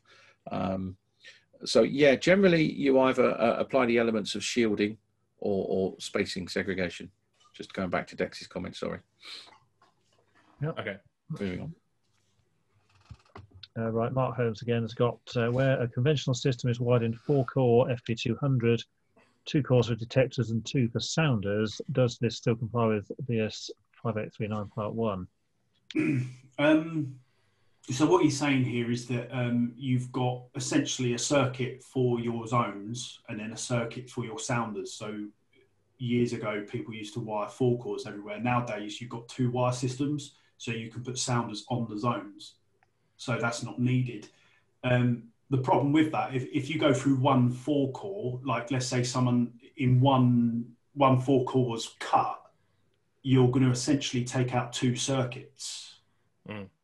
But the standard talks about zones and sounders; they're separate. So I would say if it was installed like that, it complies. Is that a recent change? Because Will's put in the chat, change in 2017 was okay in 2013, but not now. Yeah. Is that, is that referring to this? yeah, because we now it, want to keep them separate. Yeah, because it, it's about one fault affect what it affects. It's an integrity issue again. Yeah, it's an integrity issue. Yeah. Okay. Yeah. Okay. So combine it all into one four core cable, probably not ideal, like we discussed earlier on. Yeah. Yeah. Where we have a risk of impact or damage of one cable that then compromises two separate loop systems of sounding and detection is uh, not as good for integrity as it would be if it isolated just one loop. Yeah. Okay. okay. Right, Eddie Clements got uh, surely a manual call point is more important than also the C1. I think that referred to one of the uh, images. Probably one one of the images, yeah. yeah. I think these were coming in while we were talking. Sorry, I didn't look at the question bits. Yeah. Okay and I think that it just depends on the system you've got, obviously. So yeah, I mean, with manual call points for me, it really does depend on utilization as well, yeah, and who's going to use them. Can they see them? We've covered this probably in one of the last observations we've just discussed, actually.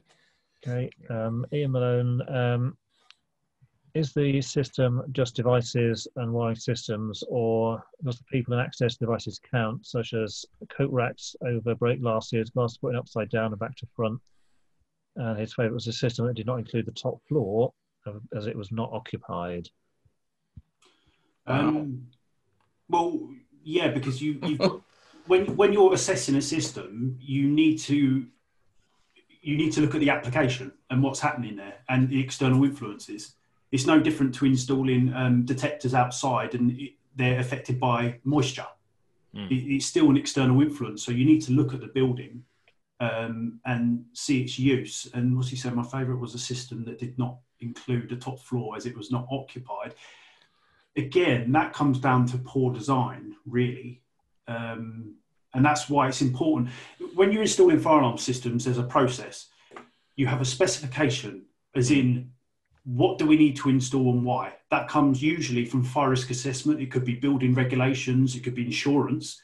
Then you design, you install, you commission, and then you maintain. So, um, you know, there might be a reason that that top floor was not required.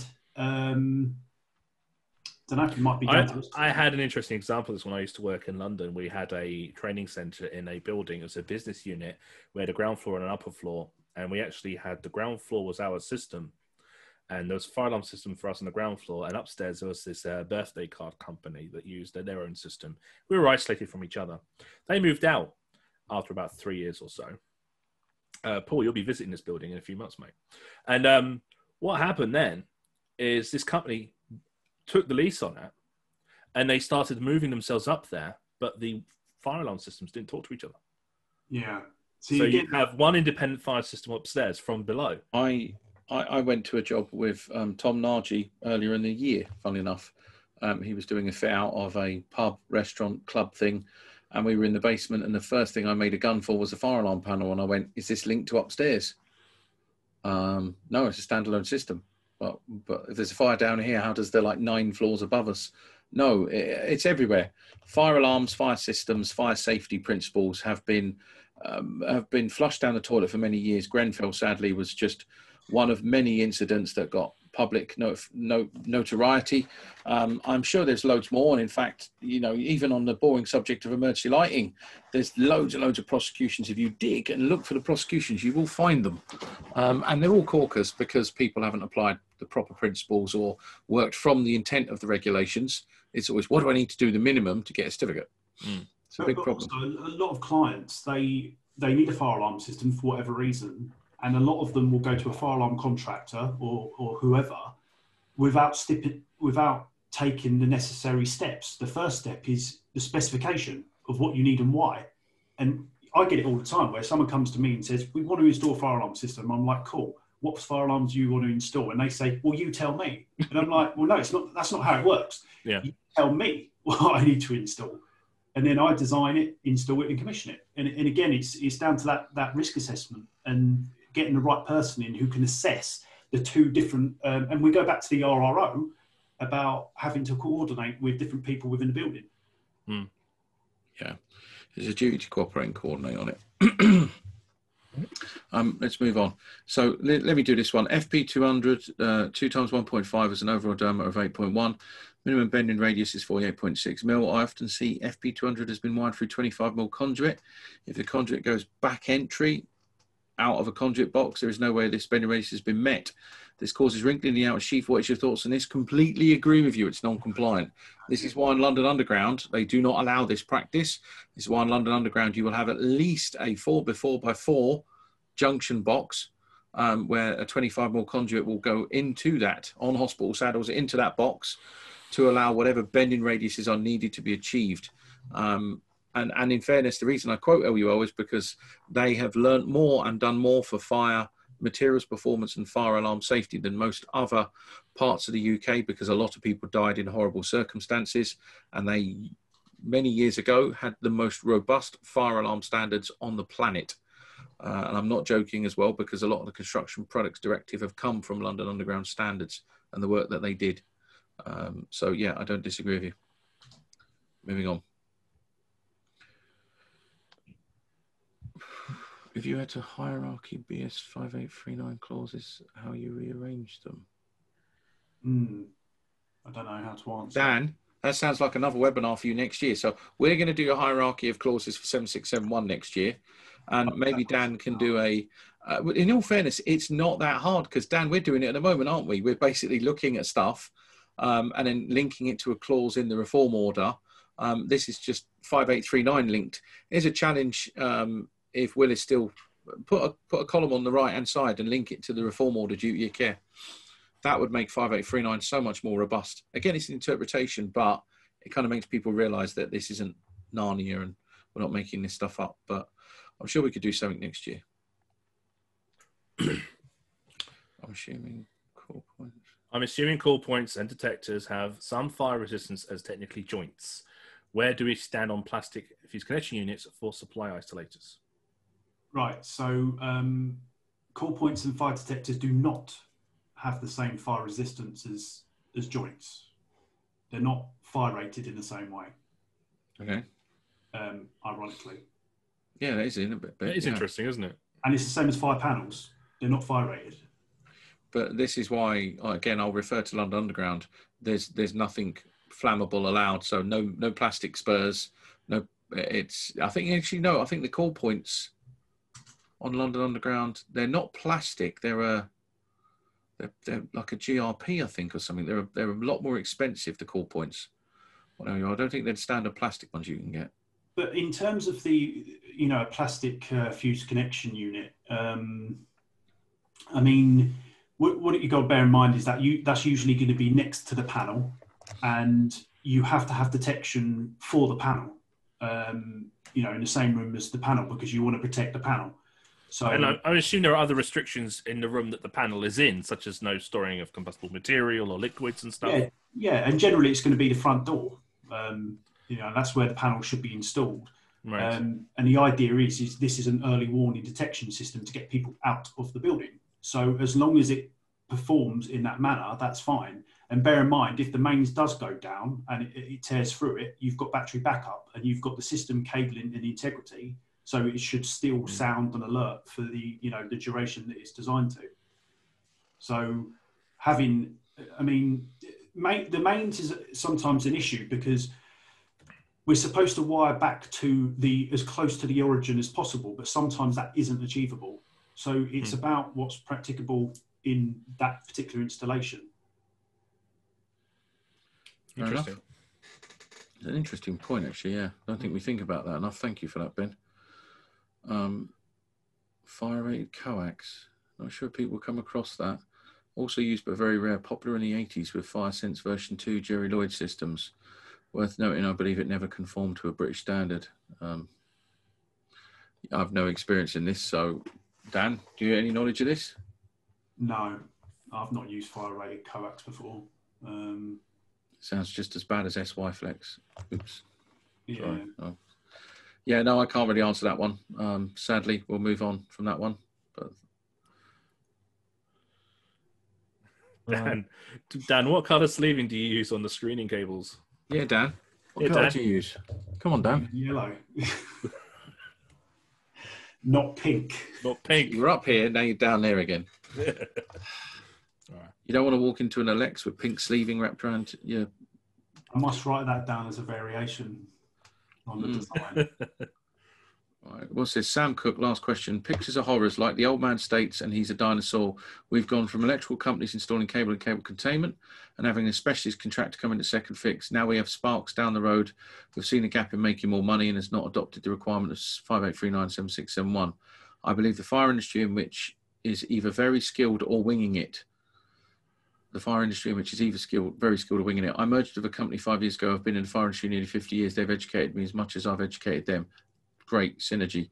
My question would be is the majority of the industry is grown by experience, i.e., the bigger companies will hire people with smoke and working for clients who want tickets. BAFE as a scheme is a good scheme. However, would be nice to see an apprenticeship program for the fire industry alone. City and guilds endorsed. When we employ, we usually test them on MICC and see if they can terminate an end. What's your opinion in moving forward to present prevent these issues? I'm I'm going to do a very succinct I, from what I see in the fire industry, there is big problems with the uh, the quality of the installation practices, some of the knowledge of the cable pulling installers. I'm finding uh, fire alarm contractors have one or two good guys. The rest of them are just installers. Um, yeah, that's it's it's a big problem. Uh, the lack of skilled resources in this country is a massive problem. You've only got to go onto DFT websites or any government website and look at the um, the trade skills reports or, or, or the future of industry reports to see there are these massive statements on competency and the lack of and the lack of available skills and uh, and I think that's where they started the ideas of plugging it with short courses, thinking that'll do, and it and it's just made it worse. But uh, I think more more mandated CPD. I think again licensing maybe. I don't know. Um, I, I, that's just my opinion, but I'll divert to the fire experts in the room. My my opinion is unfortunately, um, BS, we've we've referred a lot today to BS seven six seven one. We've referred a lot back to what should be a electrical engineering methodology, and to me, that's where this work should come from originally. This industry should really be electricians who have trained to be electricians who then go on a further journey and reach into fire and reach into emergency lighting, reach into the event industry. Unfortunately, it just doesn't work that way. The industries would rather find other methods of minor, smaller training routes, quick, small, simple, Ofqual regulated one-week qualifications that don't develop the engineering, that don't develop the experience, and don't develop the ability to understand 7671.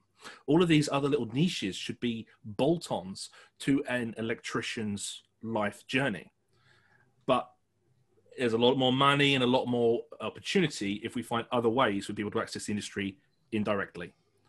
And that's why we have this issue that we've looked at today with incompetent skill, incompetent craft methods, incompetent selection decisions, inability to assess risk, uh, that's my opinion. Okay. Um, just just on this as well, I, I, I, agree with you, Dave, because I think just going into the fire sector presents risks because hopefully the one thing you've learned from this is there is a, a literally a circle of synergy between 5839 and 7671. So let's just take it back to the duties of a director of a company. If you're employing unskilled labour that aren't competent in the application of 7671 or 5839, or worst case, both, then you're potentially in breach of your duties under Section 16 of EAWR, Section yeah. 16 of Health and Safety at Work Act, Regulation 3 for the employer employing you and the, the duty to provide a safe workplace for them. There is so many pieces of legislation, never mind a reform order or anything like that, if you're employing unskilled workers that you're not developing and training and, and ensuring are competent, you're signing them certificates off. You're signing a, a, just a guilty verdict in a court. And I think too many companies, and we're seeing the output of Grenfell now with the uh, insulation manufacturer who basically were just making shit up. They were lying and getting away with it and rubber stamping. And that stuff happens in our industry to this day. And we're all experienced enough to know that stuff happens. And those who says it doesn't happen because there's a badge on it, mm. then just stop kidding yourself because it does happen. Um, and there are clients out there who want it done properly. I'm one of them. Um, I know there are other industries that want it done properly. I wish it would spread more. Sadly, we tend to have to kill people or wait for more prosecutions for this to happen. But um, yeah, don't get me started. Mm. Yeah, Andrew says that at the bottom there. There is an SVQ3 apprenticeship in fire and security in Scotland. So ah. I'll, I'll do a little search and see what that's like. But yeah, uh, I think, I think again, yeah, it should really be. I had to chat with a, mag- a magazine a couple of weeks ago about apprenticeships.